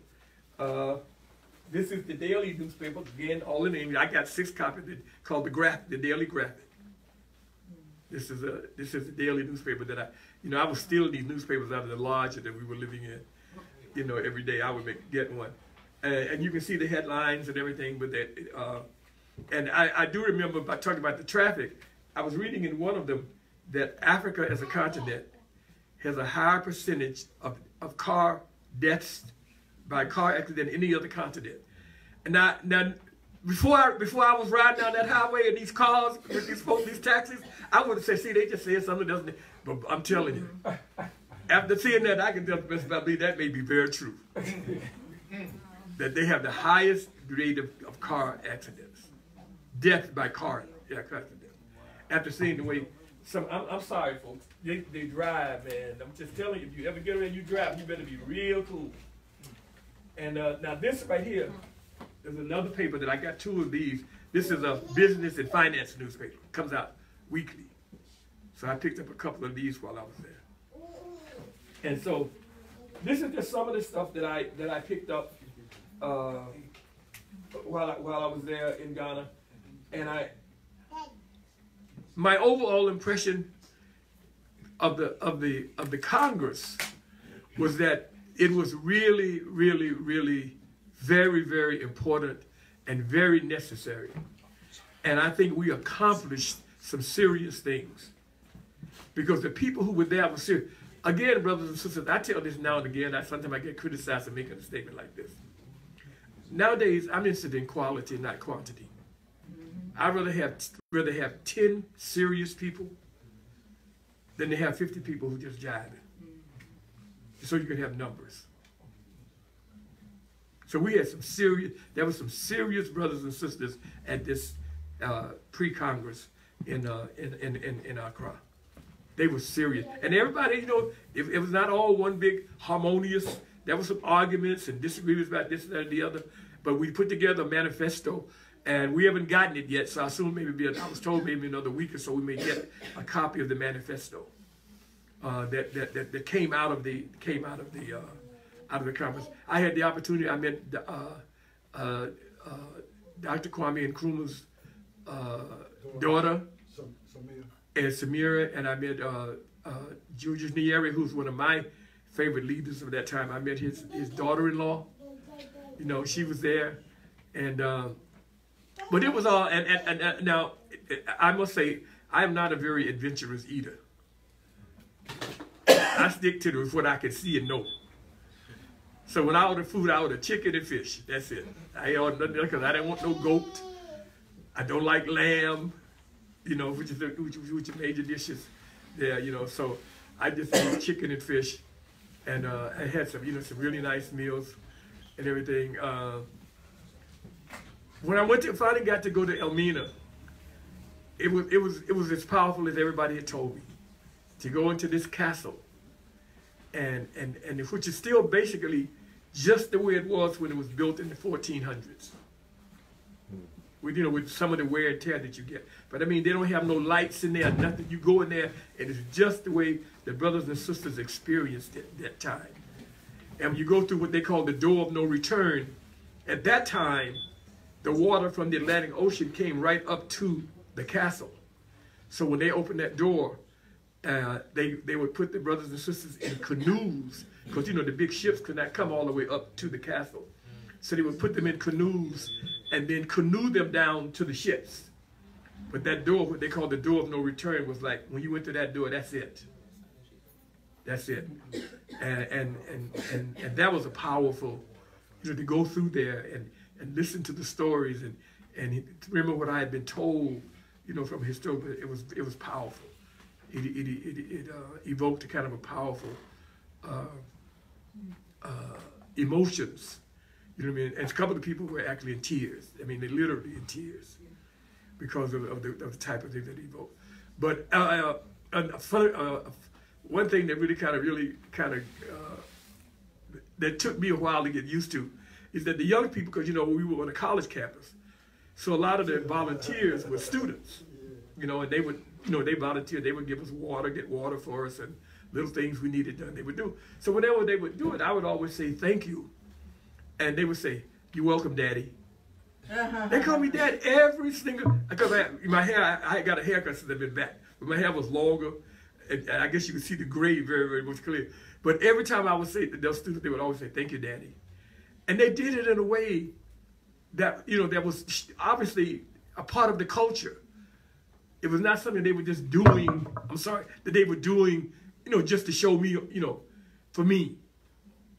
It was a part of the way they do it, but that, that kind of kind of that first couple times, that kind of shielded me a little bit, you know, just for them to say, "You're welcome, Daddy," and uh, and the, male and female students, you know, would say that uh, every time. But uh, I, the students at the university were, I mean, they were really so anxious to know, and they knew of Brother Malcolm. It's like that. I gotta say, man, that was one thing I found out. They knew. They did not know, maybe not know a whole lot about it, but they, thank you, but they knew of Brother Malcolm, man. They knew who he was. And of course, they were just overjoyed to meet someone who had worked with him during the last 15 months of his life, and also to meet one of his daughters, Malaak, Malaak Shabazz. She was, she went along with me. She told me she was going along to hold my hand. She calls me Uncle Peter.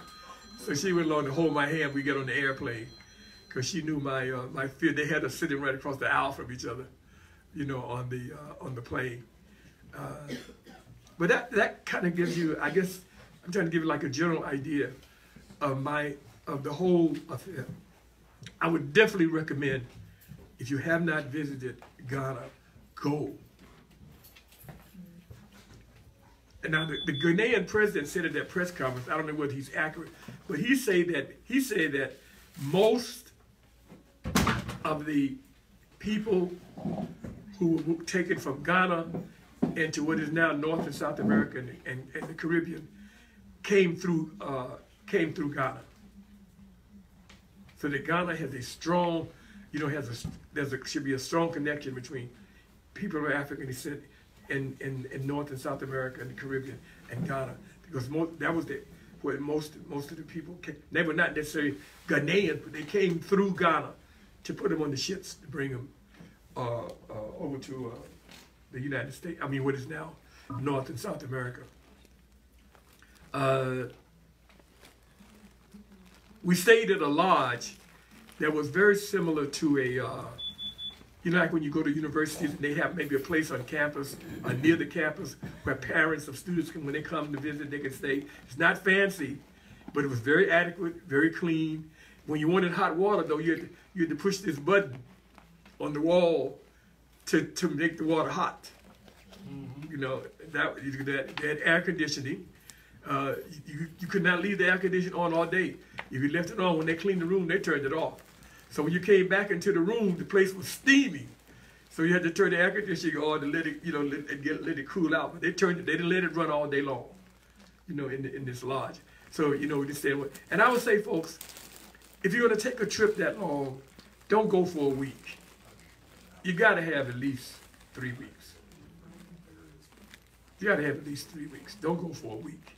We went because we were going to a conference. I just wish I wish I'd had the money to stay for another week or so, but uh, but I didn't, so I had to come back, you know, at the, at the assigned time. But it, but it's it's it's well worth the trip.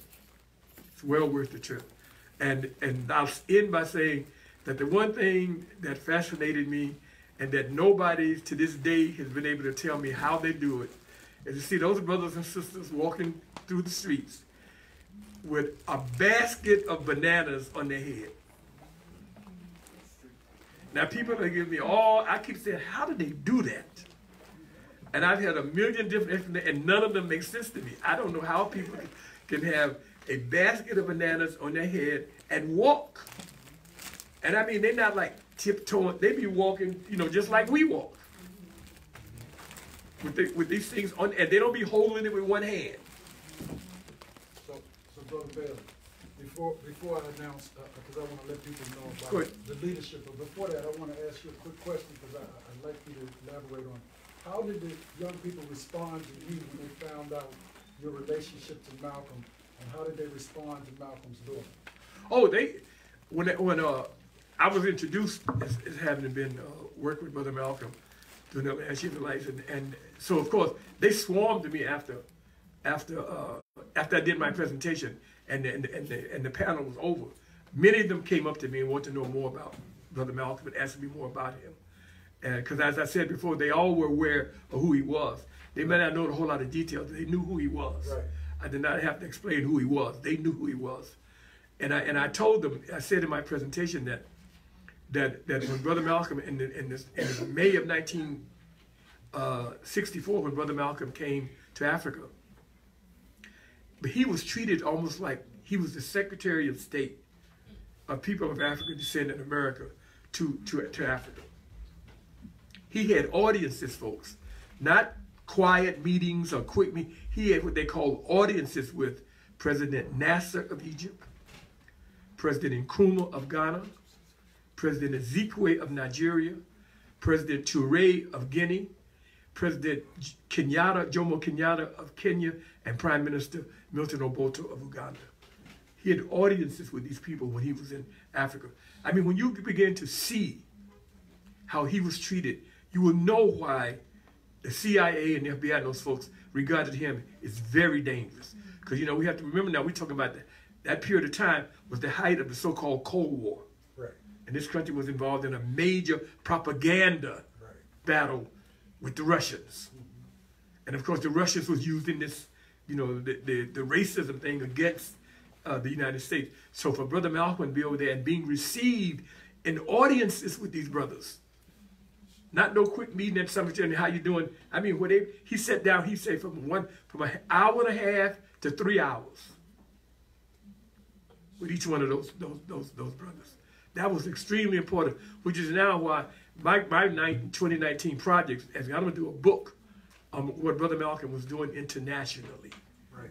So they will help to explain why. Glad you went there. And and his his daughter, of course, you know, she was like like almost like a celebrity.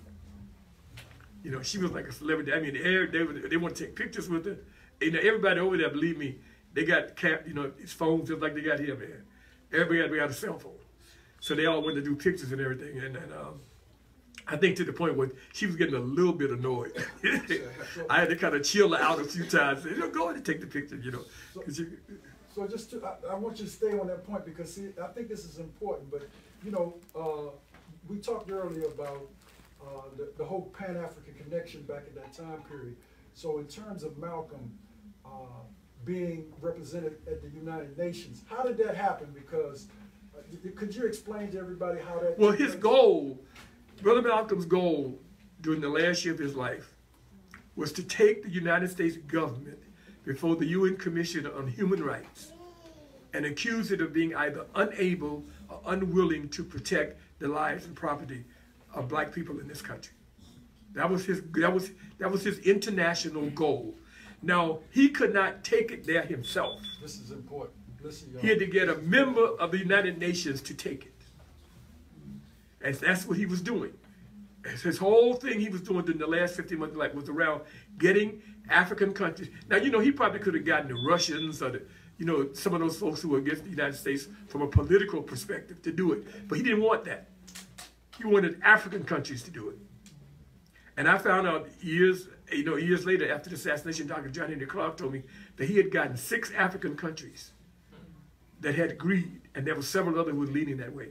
The United States, the United States to this day, mainly because we are here, has not signed the UN, the United Nations Commission uh, on Human Rights.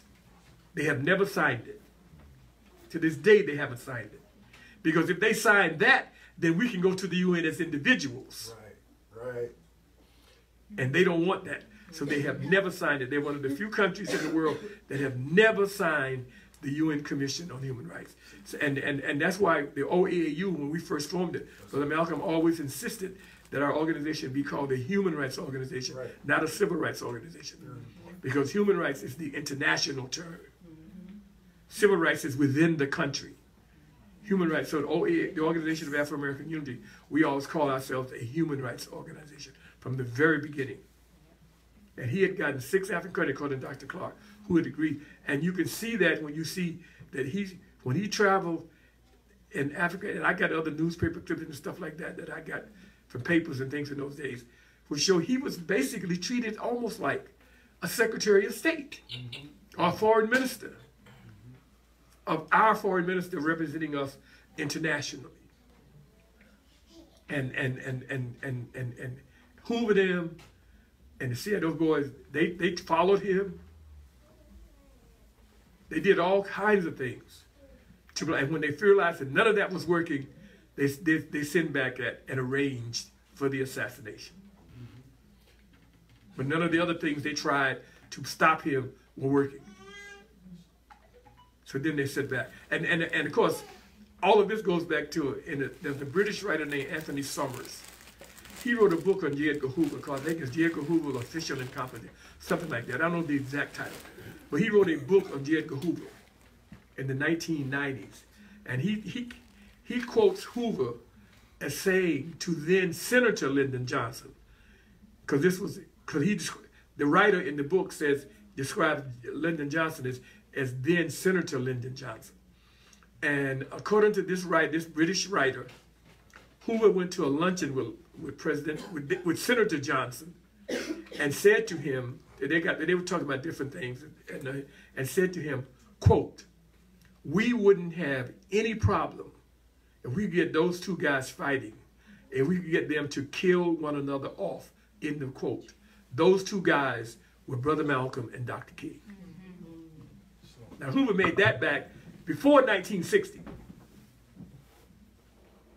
And then, of course, in the COINTELPRO thing, which came out in the 19, and we finally uh, were able to see what it was like. He said in the second part of it, it says that one of the goals of COINTELPRO was to prevent the rise of quote unquote a black messiah. Malcolm X would have been one had he not been killed. And then they listed the people who they thought had the possibilities of, of, of becoming quote unquote the messiah. This COINTELPRO, of course, was a, was a was FBI spy group. And they listed Elijah Muhammad, Martin Luther King, and, and, uh, and then Stokely Carmichael, came later Kwame Ture. And, and then it said, well, don't worry about uh, Elijah Muhammad because he's too old. And then it listed Dr. King and Stokely. And what happened? Dr. King was assassinated and, and, uh, and Kwame Ture was basically exiled. That's right. This is in COINTELPRO. So I mean, this all of this stuff, man, is is uh, uh, and this is this is the real real deal. And and and uh, the uh, and so so when you get involved with Pan African federalism, you have to understand this is going to be. I mean, this is, these big boys in in in, uh, these other continents, Asian. I read just something in, in the New York Times last Sunday about these Indians from India and South Africa. He became billionaires.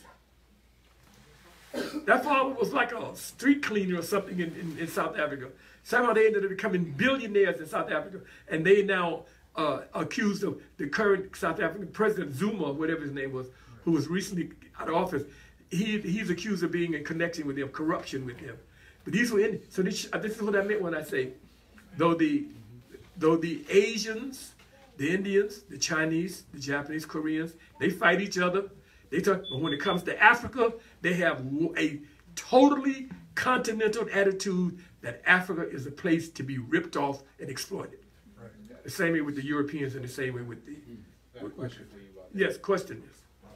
So before we go to question, go, you go ahead. Yeah, if you could just briefly, uh, what was the conversation around that? Just like the invasion of the Indians and like the Chinese, what were the young people or just anybody that was from the continent. What, what was their what, what what was their take on that? Well, the Pan African Federalists, who mainly I talked to, mm-hmm. we understood that as a you know, we, to us it was no uh, no. Uh, we talk about you know these units that they're all there. now. I don't know. All I know is that when watching Ghanaian television, because my roommate had their television set, so I'm going through it. And by the way, they had these Ghanaian. I guess they were Christians, African Ghanaian Christians, and they were having a, a, a. I was watching their show for a while, and they had this huge, and everybody, this huge big white Jesus on the wall. Then I turned to another station, and just as I got to this station, another African religious people, and they they were singing. I don't know why, because I couldn't understand. They was you know they were they were speaking in, in their own language, but they were singing, "We shall overcome."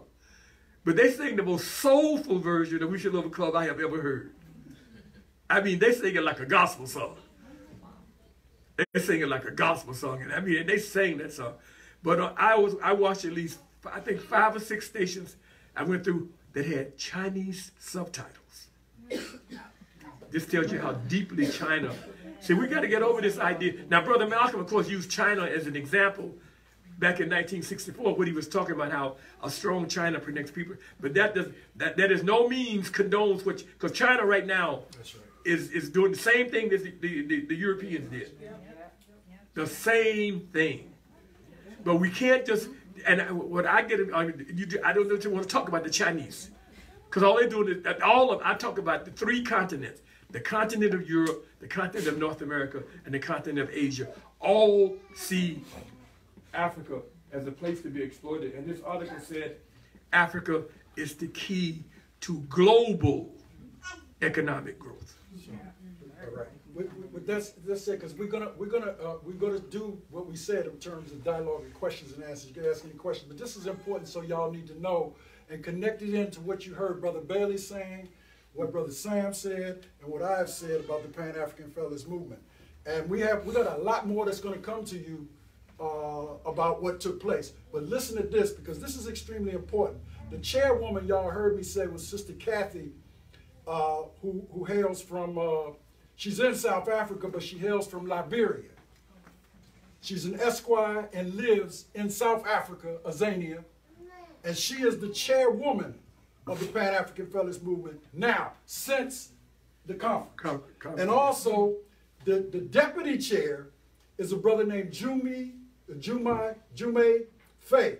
Now, he's based here, he's from Senegal originally, and he hasn't taken American citizenship. He still got his Senegalese citizenship, but he lives in Jersey, and he's the brother that was at our conference and represented the IPEC that came out of uh, Senegal. Well, now he has moved up, and now he is the our co-chair along with Sister Kathy. Uh, He's the one who recruited me into the Pan African Federalist movement. in fact, in, and, and, and Jume says that Brother Bailey, they were in Brother Bailey's house with my brother Cliff. Cliff, stand up in the back. And this was years ago when they came up with the concept of the Pan African Federalist Movement. And Brother Jume says that the reason it's not the African Federalist Congress is because Brother Bailey convinced them that it should be Pan African. Y'all hear me? So, anyway, that was done. Uh, the General Secretary is uh, Aziz Fall from Senegal. Uh, the Finance Secretary is Nana Ama, Ama, Amaka of Ghana.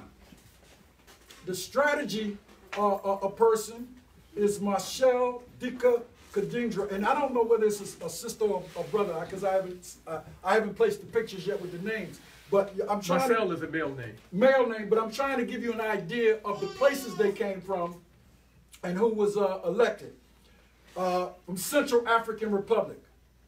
Structure is none other than Brother David Horn, the former international organizer of the UNIA, one of the founder members of the Pan, uh, Pan, uh, Pan-African Diaspora Union, and also one of the founders of, uh, uh, of uh, SRDC, the Sixth Region Diaspora Caucus, and a brother who's a tenured professor in LA.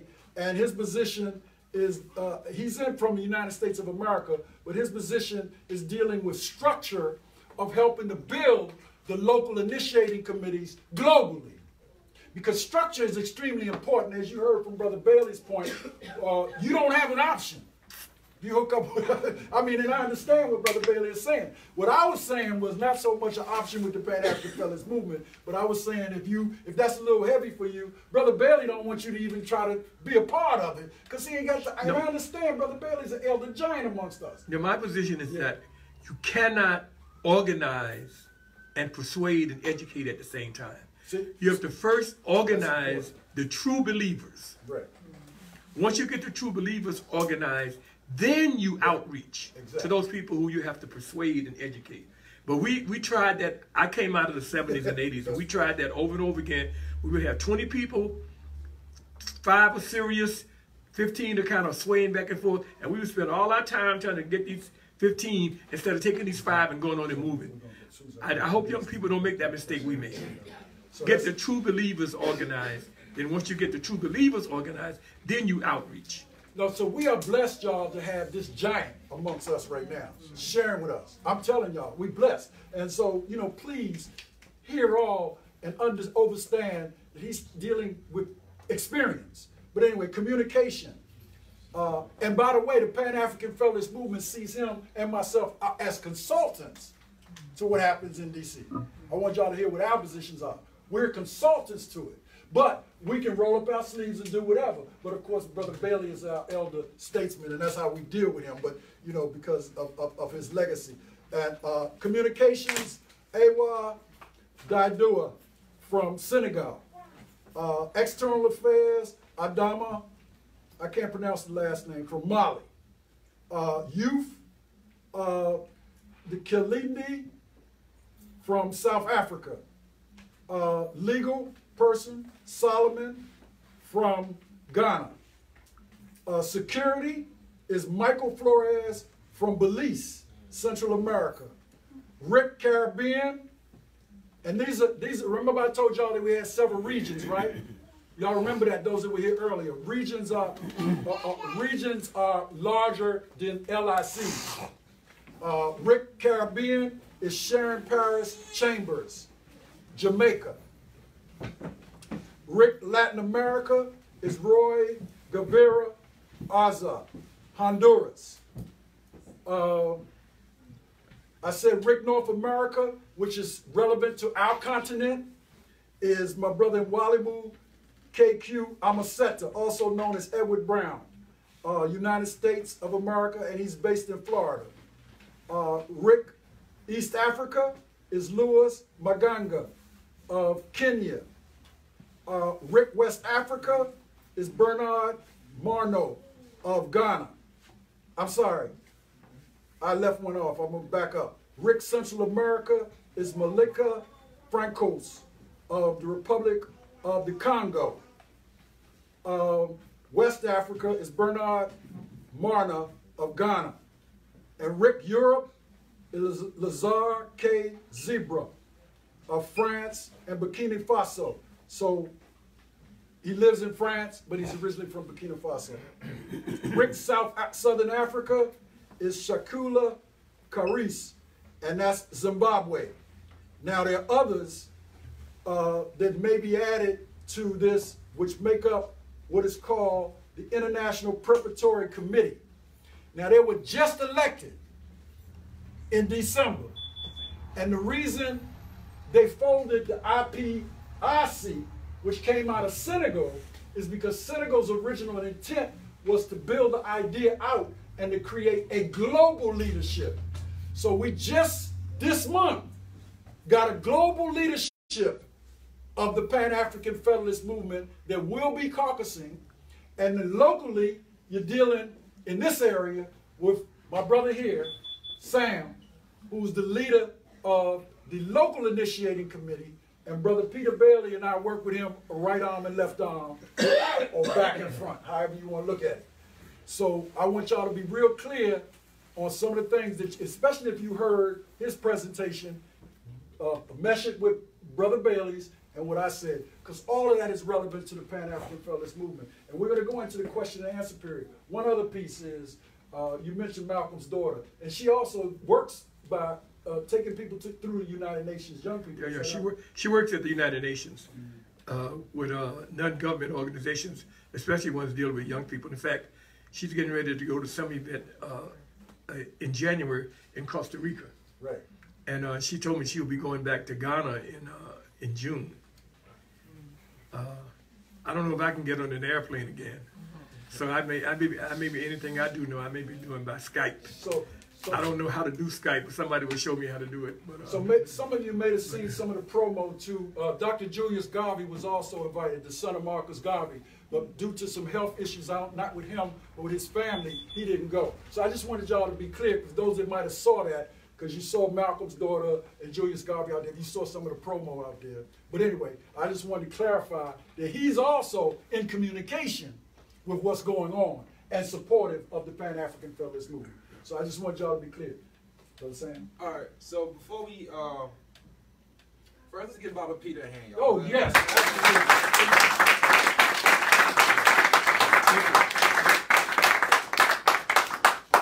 I'm telling y'all, sit at sit at the elders and giants' feet while y'all can, man. Like this was, a, you know, it. It's just so good being in close proximity to you know people who are there, who have the experience, who have the wisdom. Because what I'm learning, you know, and I'm pretty sure some of us can agree, that history repeats itself, and that there are always lessons in history. So we got to take what we learned from yesterday and apply it to today. In the spirit of that, I'm going to open the floor for questions. And while we're doing that, I'm kindly asking whoever has that sign-in sheet, if you can just hold it up in the air real quick. Just- Right in front. Would you mind holding it up? And everybody that has not signed it, please sign it. Yeah, so if you just got in, you know, at, at, at any point in the presentation, if you can just sign that list, I'm asking for your name and your phone number. We're making phone calls. We're not doing emails, we're gonna make phone calls. If you don't answer the phone, I'm gonna leave a voicemail, I'm gonna text you. If it's a landline, I'm gonna leave a voicemail there too, and I'll call back maybe an hour, two hours later to really confirm your participation in this. You know, at that point, I'm gonna answer the call. If you're not answering the call, cool. If you are, let's come along, all right? what the, explain to them when we say answer the, the call, not your phone call, but to answer the call, because that's the only requirement. Explain, No problem. Explain no problem. Great point. So as far as answering the call, so this applies to anybody who heard the presentation about Pan-African federalism or who didn't. Answering the call means that you're committed to realizing this Pan-African federalism vision, where we are organizing amongst ourselves in D.C. to coordinate our activities with our brothers and sisters across the continent in the interest of making a federation where we pressure those of us on the ground level, where we pressure the leadership, right? Especially the the black African leadership on this side and on that side. We pressure them to relinquish up to 70% of their power and take it and give it back to us. And when they relinquish that power, they make it in the form of a federation where pretty much we're all coordinated. So where you have the Europeans, they have their thing, the other people, they have their thing. We're organizing amongst ourselves to create a Pan-African federation. But that's going to happen from the ground up. Very important. Okay? Not from the top below, but from the ground up like the way it was supposed to be. Understand, this was the original vision of the OAU. Okay? Mm-hmm. Okay? OAU pretty much, all right? What's called the African Union today. But the African Union and the OAU are two different entities. When we started getting away from the OAU, this is what the call for Pan-African federalism came into play. Okay? So, when we're talking about answering the call, we're talking about you, who I'm asking to join the call, to come on board and help us build something where we can pressure elected officials here, okay, and elected officials on the African continent and other places around the world to relinquish their power and help us create a federation where we're politically organized. Politically organized against other forces out there that want to exploit us for our material resources and our ingenuity. Because understand that there's a brain drain going on right now. Our best and our brightest from the African continent are over here for whatever reason. Okay? And they're sending money back, but as far as the intellectual property and whatever else, it's not totally there yet. So all of this goes into play. So please understand, when I'm calling you on the phone and I ask you if you want to answer the call, that's what I'm asking. And one more point that I want to make. We're not asking you to do anything extra. Not at all. This is not another organization. You don't have to, you know, you know, uh, um, carve out more time or do other tasks. I understand we're all busy, but the point is for us to organize. You keep doing what you're doing, but you do it in accordance with what other people in your sector are doing.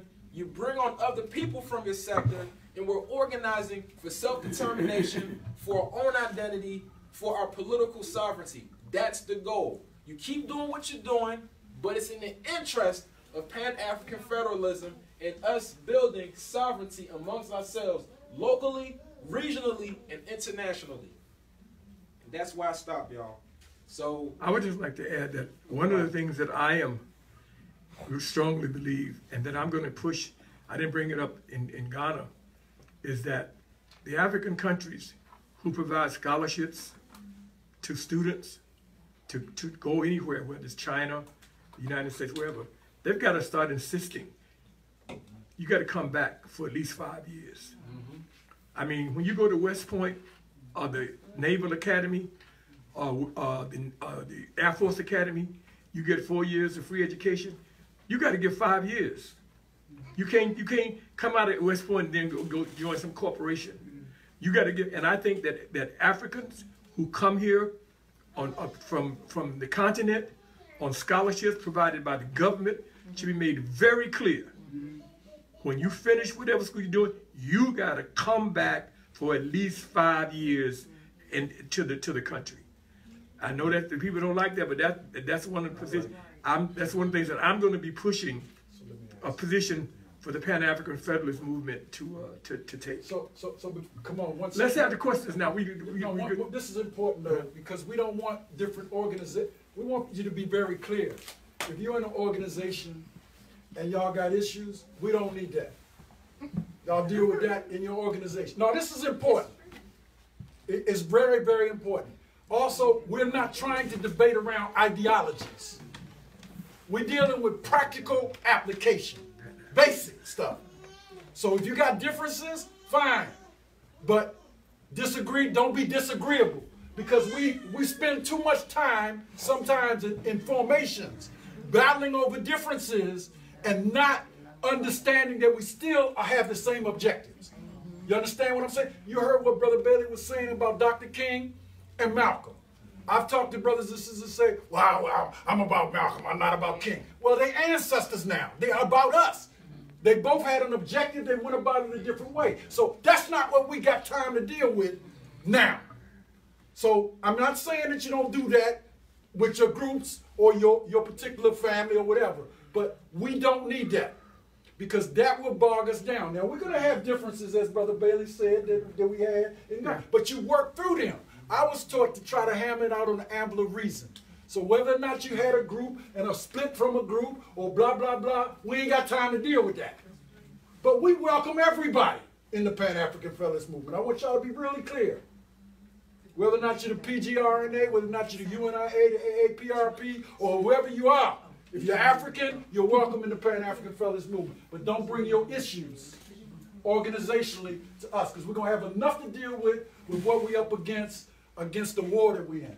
Brother, come on, go ahead. You can open up. Uh, Thank you. I I have a uh, question and a comment. The comment is, uh, I feel compelled to to share this story with everyone. Sure. Uh, I had an opportunity to um, meet another giant, and it was on uh, Dorothy Irene Height. And when I met uh, Queen Mother, uh, and a lot of folks who don't know, she is the sole reason that MLK actually even spoke at the March on Washington. A lot of people don't know that. Like she made that happen, and he only spoke for like what, what less than ten minutes. Like like this is our kind of speech. And everybody thinking like everybody came to see him or something. Oh, you said, what you talking about? Uh, yeah, I had dream. I had a dream. Well, I was there. Yeah, I you was was there. there. Yeah, I was there, brother. So I Dorothy was- Irene Height made that happen for him Yeah, because yeah, yeah. and had to argue about it. So anyway, I just want to put that out there. But I met her and I asked her, I said, what would you say to a young man that will give his life to to continue the, the uh, unfinished work of Malcolm and Martin? And sh- she's in a wheelchair. She's holding my hand. And she's like taking a, a moment to reflect. Like she's really taking it serious, like what I asked her. And then she says to me, she says, your enemies are not even thinking about you. Mm-hmm. Right? And at first I was insulted because I thought she was like saying like, nigga, nigga, please, like, you know, who are you? You know, that. but she was like saying, your enemy's not even thinking about you. And then she leans in and she says, they think they already won. Mm. So they won't see you coming. And that's our edge. If we ever did anything, they wouldn't be so shocked. Like, these niggas did something? You know Because they think they got it. Rap, lock, whatever, and y'all ain't gonna do nothing about it. You know what I'm saying? I just want to put that out there so that, you know, take some of this, this edge out the room. Like they are actually expecting you not to do something. Okay? That's put why- that out there. That's why they were, that's why they, Good they were point, doing, Cologne. that's why they were doing advertising supplement like the one that I showed you. I mean, they basically, if they thought that we were in any kind of position, or they had any kind of fear that we would, you know, could react, they would, they would that, put that out there that openly. Mm-hmm. Africa on the agenda. I mean, I mean, that's it. Africa on the agenda. You said you had a on question. the, on the plate. You said you had a question too, come on. Uh, and my question, is I want to make sure I got this quote from uh, Brother Bailey correct. You said, uh, I just need you to reiterate, this is what happens when the people refuse to organize a national movement to protect their interests. Um, I don't think I got it uh, No. verbatim. What I was responding to nowadays, all these things that are happening now, the reemergence of overt white supremacy, Okay. Uh, the, the reemergence of overt white supremacy in this country, where things they used to, for, for a few years, they try to do it undercover and hide it, but now they're back, they're more and more doing those kind of things openly. And when I hear black people say, "Well, you see what they said? This this this girl, this black student over at Georgetown University, uh, they put a banana on her door. Uh, so and so happened. So and and when people say that, I say to them, this is what happens to a group of people who resolutely refuse to organize a national movement to promote and protect their interests. This is what happens to you. And when people say, to well, you know, black people ain't gonna do that, then I say, then pay the consequences. And that's it. We gotta stop providing our people with, we know what the white supremacists do, what they plan to do. Their whole, we know it, we, we know it. The question is, what are we going to do about it? Is it, you know, and, and, uh, and, and if you don't do something, there's certain things that happen to you.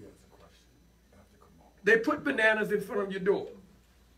Police feel no fear to shoot, you, you know, uh, young black males. They don't fear because they know there's no kind of national movement that would, that would, that would deal with it. So that's, this is what happens to a group of people who resolutely refuse to organize a national movement to promote and protect their interests. And on the continent, when you hear about the exploitation that goes on from China and the United States and England and France, and all those places, this is what happened to a divided continent. This is what happens. So, uh, my brother, Yes, I have two questions. Uh, Brother Bailey, the, um, know, human rights was the uh, motivating uh, factor for uh, Malcolm's uh, involvement in international realm. Uh, What has become of that legacy? And where are we now with regards to that particular matter of addressing human rights uh, on an international plane. And my other question is to you, Senghor, and that's, you spoke about the requirement, I think, or maybe you could clarify, that involvement in the uh, Federation would be on the basis of being a civil society. Is that what you said? Maybe I didn't understand. No. Could you yeah, I explain will, or I will, clarify I'll let, what's let in- Brother yeah. Bailey address the Yeah. one that you addressed. you addressed. Well, uh, the concept still has not gotten as far as I think it should. You, I do find that I, you find more more people talking about human rights, you know, involved in, in, in around our position in this in the continent of North America than they used to. But we still, you still hear most of us still use the term civil rights, and civil rights and civil rights, and and, and civil rights is a, is something that that is that is within that entity, within that under the auspices. When you say human rights, that's why it's the International Commission on Human Rights, not civil rights. So human rights is the international term, and when you want to go international uh, with your grievances against a government, you have to use the term human rights, and and you see a little bit more and more using by by people of African descent in this country, but still not nearly enough. Most of us still talk about civil rights. Right. So, so, yeah, but for clarity, no, what I was saying, because I, I kind of ran both of those in, in between. What I was saying was, the Pan-African Fellows Movement only really wants you to answer the call of recognizing what our ancestors did. That's it. As far as the African Union, their requirements is that when you do town hall meetings, you should have civil, a civic associations opposed to organizations to be a part of the sixth region. So that's not the Pan African Fellows Movement. That's what the, uh, or, uh, that's what the uh, OA, that's what the African Union has said that for the sixth region, they don't want a list of all black organizations. They want you to hold town hall meetings with every the average day citizens, and them decide who's going to be their leadership to represent that area of the sixth region. Is that not right, Brother Cliff? So I, I'm clarifying. So that's not that's not a requirement with the Pan African Federalist Movement. That's that. And what I was saying was in the town hall meetings, that people who come to those town hall meetings that wish to be a part of that, we have that with the sixth region diaspora caucus as well, who's also working with us. So, uh, you know, I, I, I don't want to, you know, I, I, so, so I just wanted to clarify that. And, and, and it, it is really important to um, uh, be clear. So any questions that out there, you ask them because the only recall we asking with the Pan-African Federalist Movement is for you to answer the call. The call came from Kwame Nkrumah and primarily Cheikh Anta Diop, who documented, clearly stated that we should be federalists. Now there's some debate around Kwame Nkrumah, and I want to clarify that in case people are clear. Kwame Nkrumah, when he first started, was clearly federalist. But later on, he dealt a little more with unionism. Now that's a whole nother ball game. But what we're concerned about is the progressive movement of our ancestors. Because now the ancestors in the African tradition, many of our ancestors, of course, Marcus Garvey, there's no question about what he was talking about, about Africa, and, and, and on and on and on. So those ancestors, I, I, I see back there, uh, those ancestors are the call. If you agree to that, that's answering the call. Is that not correct? Am, I- am I correct, Brother Bill? Yeah. That's it. Now, of course, we're still putting structure together, and so each uh, local initiating committee will have major objectives, and that's what he was talking about. We will have need to build uh, economically. We will have a need to build to protect our community, where you have a group.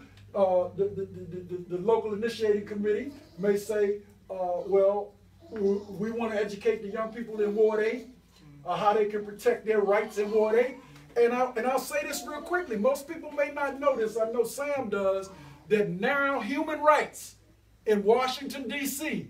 is supposed to be taught in the public schools. So that is a gateway for us. Now, don't get me wrong. Now, I don't. I'm not advocating what perspective some other folk may be coming from, but certainly our human rights have been violated, and we know District of Columbia is a colony. But the reality is our human rights have been violated, and we go back to Brother Malcolm. So that's a gateway for us to talk about how our human rights are violated every day. Come on, you heard that. We Act Radio, so I, all right. We, Go ahead, bro. no, Brother Duno, Brother Duno, Go was ahead. next. Brother Duno was next. I am not an African because I was born in Africa. I am an African because Africa was born in me. Many of us want to give that to Nkrumah. And if we look at our history scientifically, even before Edward Wilmot Blyden, even before Maria Stewart, but I'd just like to say this, since we were mentioning about human rights. My brothering and my sistering, it is remiss of us not to deal with the League of Nations in reference to human rights and whatever other federated things that happened before 1922.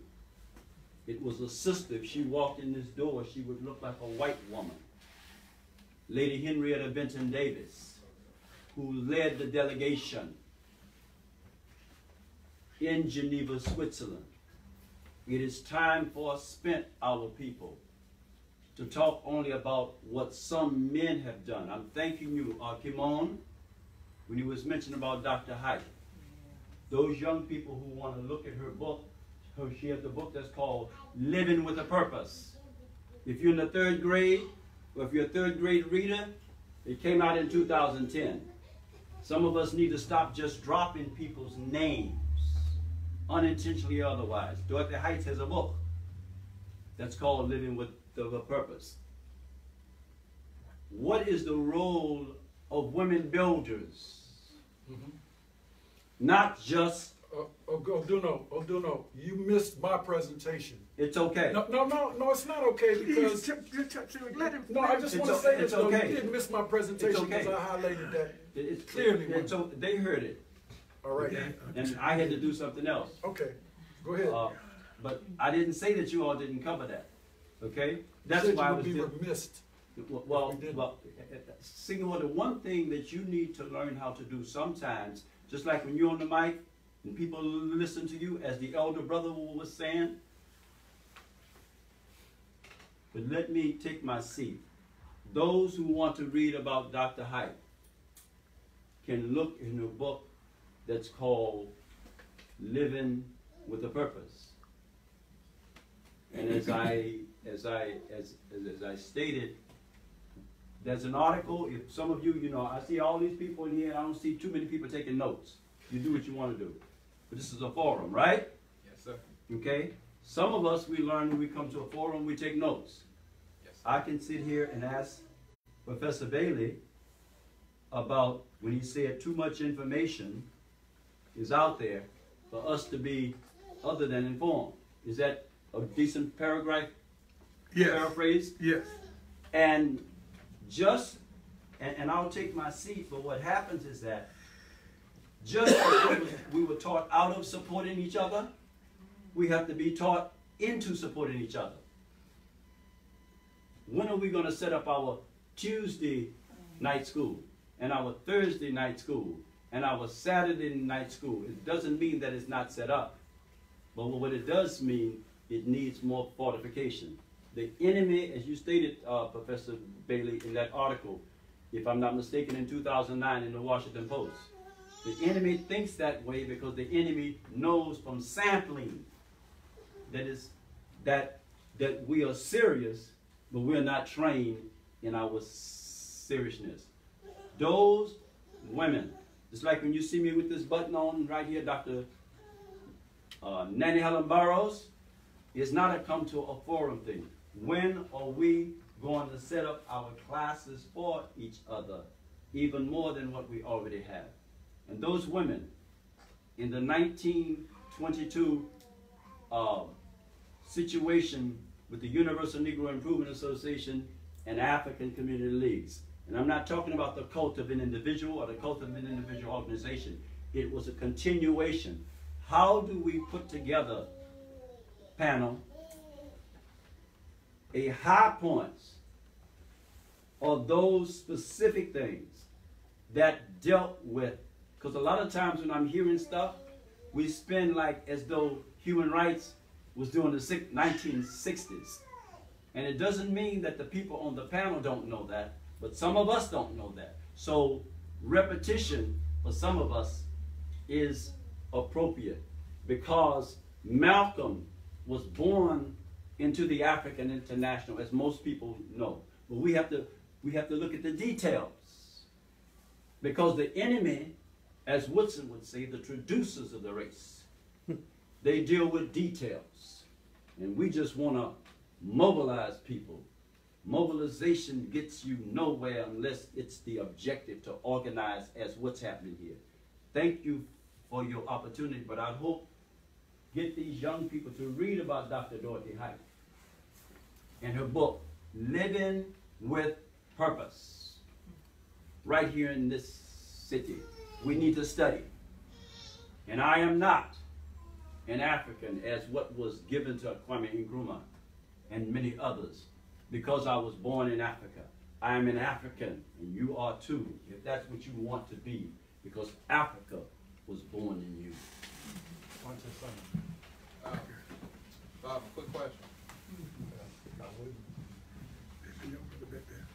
There's a young brother back there. Go ahead, somebody. I just had a quick question. Um, when traveling to Africa, you're saying everyone should make that trip for about three weeks. Like, how much money should we have to make a trip like, like that? Okay, what, what I was saying was that if you're going to go, then it, it, it's best to have at least three weeks. You know, because there's just so much, especially if you're going for the for the first time. This was my first trip to West Africa, and I truly regret that I did not have. I was there for the conference, uh, for the Congress rather, and I was there for eight days, and then I had to come back. You know, because uh, I had not made any kind of arrangements to stay, you know, for another week or so. It's a long trip to go. We're talking over about 5,500 miles, at least maybe more, uh, from from from from Dulles to uh, Accra. But I would say that, uh, cause like anything else, the earlier you decide and the earlier you get your plane ticket, the cheaper. Because we find out that they, the price literally goes up almost daily. It goes up almost daily. So uh, we started off, we, we started off trying to get a group so you can get a group rate, you know. And by putting it off, when we started off, the, the ticket was $1,050. Wow. By the time we went, when we realized that we were not going to get sufficient people to make a group, we ended up paying over $1,400. Whereas we had started off right away, we got a ticket for, you know, uh, $1,050. But I would say that, you know, plane ticket, hotel, you're probably going to need anything about 2,500 to $3,000. I mean, and, and- I mean, it costs me not, you know, I, I never splurge. You know, I'm not one of these people go somewhere and be splurging, man. I'd be like, you know, and, and in Africa, everything they still bargaining, man. You got to, everything is bargaining. You know, people tell you how something costs. You don't just say, okay. You guys, well, wait a minute. Wait a minute. You go back and forth, back and forth, and uh, I got this incredibly beautiful uh, cover for. You can either hang it on the wall, or you can, or you can uh, put it on the. You know, it's larger than a spread for a king size bed. That's how big it is, and it's all in colors, the African colors with with with with, uh, with, with sayings in it in both Africans and English. It is it's beautiful, man. Uh, so you know that's the kind of thing. But I would say, you know, you got to save up and but but but again, the the Ghanaians are now trying to make it much easier to come in 2019.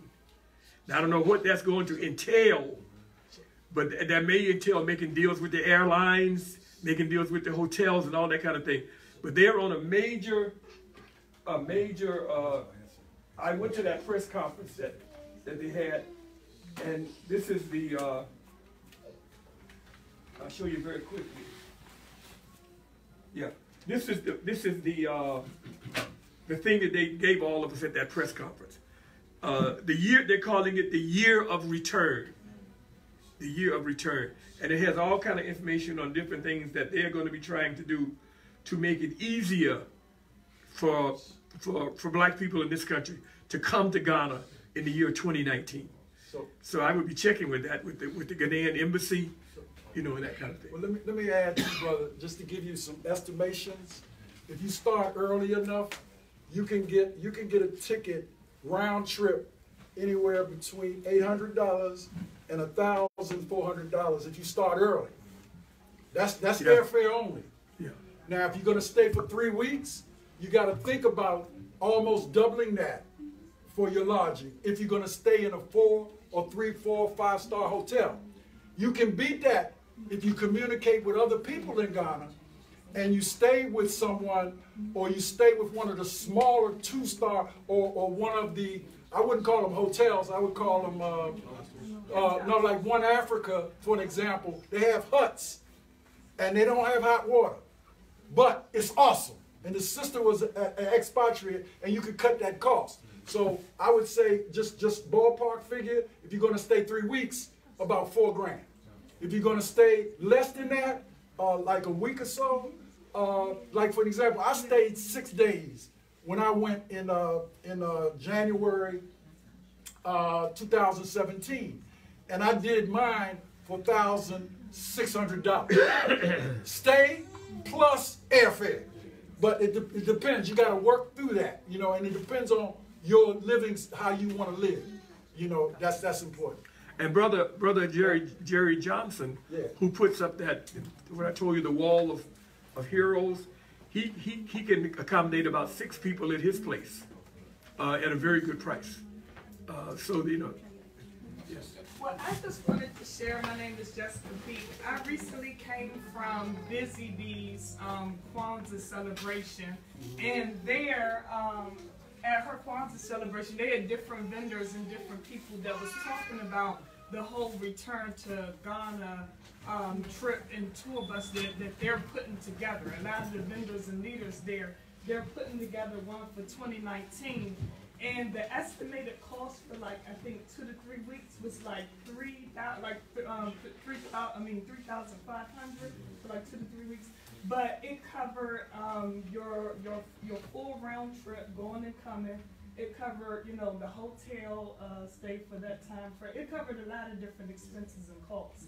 And I think the main cost that they said you had to cover, you know, uh, you know, out of pocket for yourself was like food and if you wanted to purchase different items there. But um, I have the flyer that breaks down all the details. I could send it to one of the organizers up front, and they can the, the list that everybody put their names and texts on. They can try to you know get that information back out to everybody. But yeah, I don't have it with me right now. But I have the flyer that breaks down that you know to anybody interested in doing that Ghana return um, to home trip. And there's a list of seven, uh, several different things they're doing. They're also going to where uh, W.E.B. Du Bois uh, Du Bois Memorial was. Yeah. Yeah, that. It, it's, it's a list of different activities that they're doing that's, you know, incorporated in the cost. You don't have to pay out of pocket for all the activities they're doing too.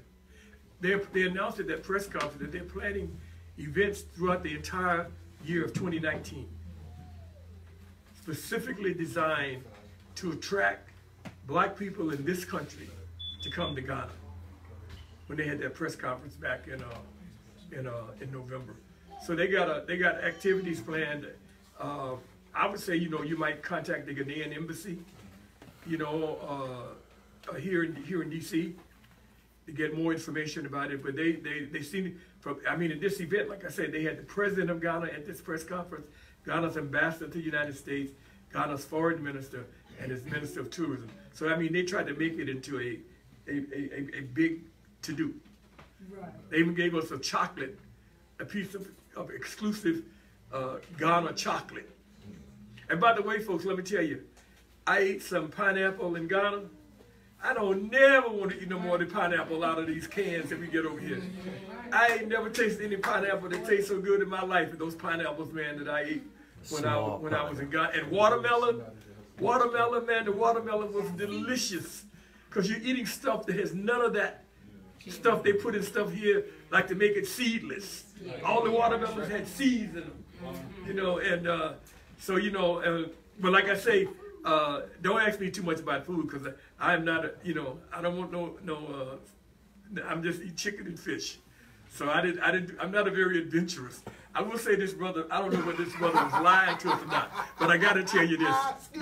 This brother from this brother from Belize named Mike Flory. Mike was a character, man. He's, and he he likes to go. He said he goes wherever he goes in Africa or anywhere else.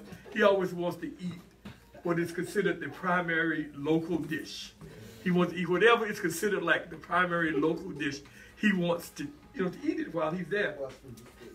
So he was sitting at the table with me and and and and uh, and, and two sisters from Georgia. The three of us, four of us sitting at a table together. And and uh, he said something to the young lady who was taking the orders. And uh, and uh, and she leaned on, he asked about the, the primary, you know, the most popular local dish. So she whispered it to him. You know, she whispered it to him. So, you know, we didn't, you know, we sat there and he told me later that the primary local dish was cat. And if I had known that that joke was sitting at that table eating cat, I would have got up. You know what I mean? But I didn't know, you know, so I just said that I don't know what he was, but he was, he swear that that's what he told her, that, that she told him, and she said she didn't say it out loud because she knew that, you know, how we uh-uh. might, how we might react to that. So that's why she whispered it to us. Now she did do that. She when he asked the greatest, most most popular local dish. She whispered it to him. She didn't say it out loud. Well, And she that's the came most back with popular this dish and dish gave in it to him. Southeast.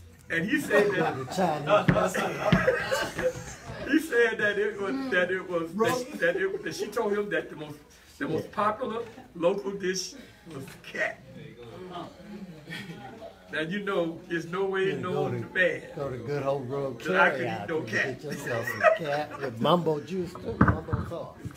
Oh yeah, yeah. Family, family. Give yourselves a hand, y'all, for real, man.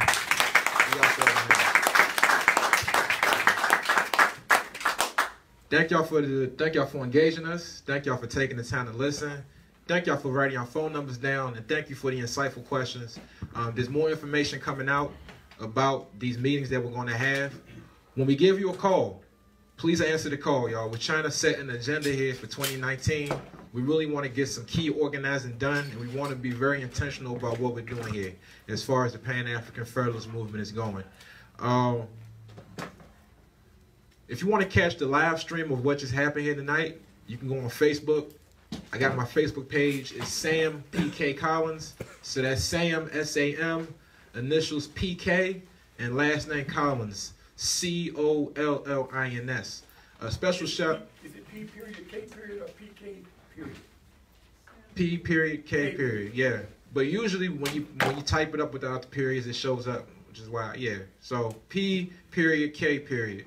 Definitely. Sound like a journalist. That's a journalist right there. Yeah, my man. My man. Um. But yeah, we good to go, y'all. Special shout out to Kymone uh, for, for allowing us to use the space, y'all. Thank you. Uh, oh yeah. No problem. Um, before we before we leave out, I'm gonna pass around. I thought we had a pan here or some kind of a bowl or something like that.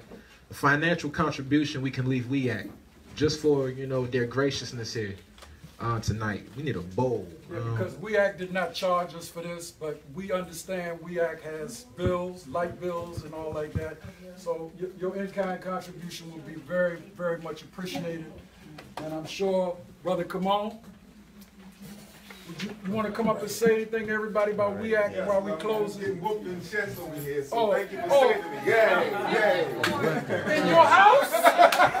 In your house? He teaches chess professionally. Oh, oh, oh, And oh, I've been oh, playing oh, with oh, children too much. I've been playing with children too much. No, but you were saying about, about what WEAC do is. Um, I go. I go. We, we in WEAC's house, y'all listen up. Thank all of y'all for coming. Thank you all of y'all for um, embracing the my favorite principle of Kwanzaa, Kujichagulia. Thank you. Uh, Kujichagulia. And it is really about doing for self. And I think that everyone has pretty much proven how much you can do on your own. But have you actually done anything with others? You know, the proverb I'm, I'm, I'm reminded of is you want to go fast, go go alone. You want to go fast, go alone. You want to go far, go together. And obviously, if we are going to get any further, we're going to have to go together. And if anything, I want everyone to realize that this space right here is uh, the manifestation of Kujichagulia. You know, I didn't, I didn't, we didn't wait for permission. You know, we elbowed our way into it. You know, we are the X factor. And, and I, I go back to Dr. Um, uh, I call her Dr. Dorothy Irene Height, Mother Queen's sister, because she's, she, you, you got to understand that we we are the X factor. Uh, are we going to continue doing what we've already done, expecting different outcomes? Are we going to do like um, Baba Bailey says, and when people say, "Oh, they did this," "Oh, did you hear that they did that?" "Oh, they cut the boys' dreads and the," uh, I'm like, what? You know, the police done shot another boy. They done sprinkled some crack on him. Yeah, I mean, like it's all the same. What are we to do differently? What are we to do differently? And I, I, I just like to say this: um, don't be telling everybody publicly, but I'm saying this to you um, publicly: is that I have not filed income taxes since October the 16th, 1995. Okay, I'm just saying that's what I've done. Okay, I think I think we give the government too much credit. I think fear is more powerful than their actual weapons. You just scared.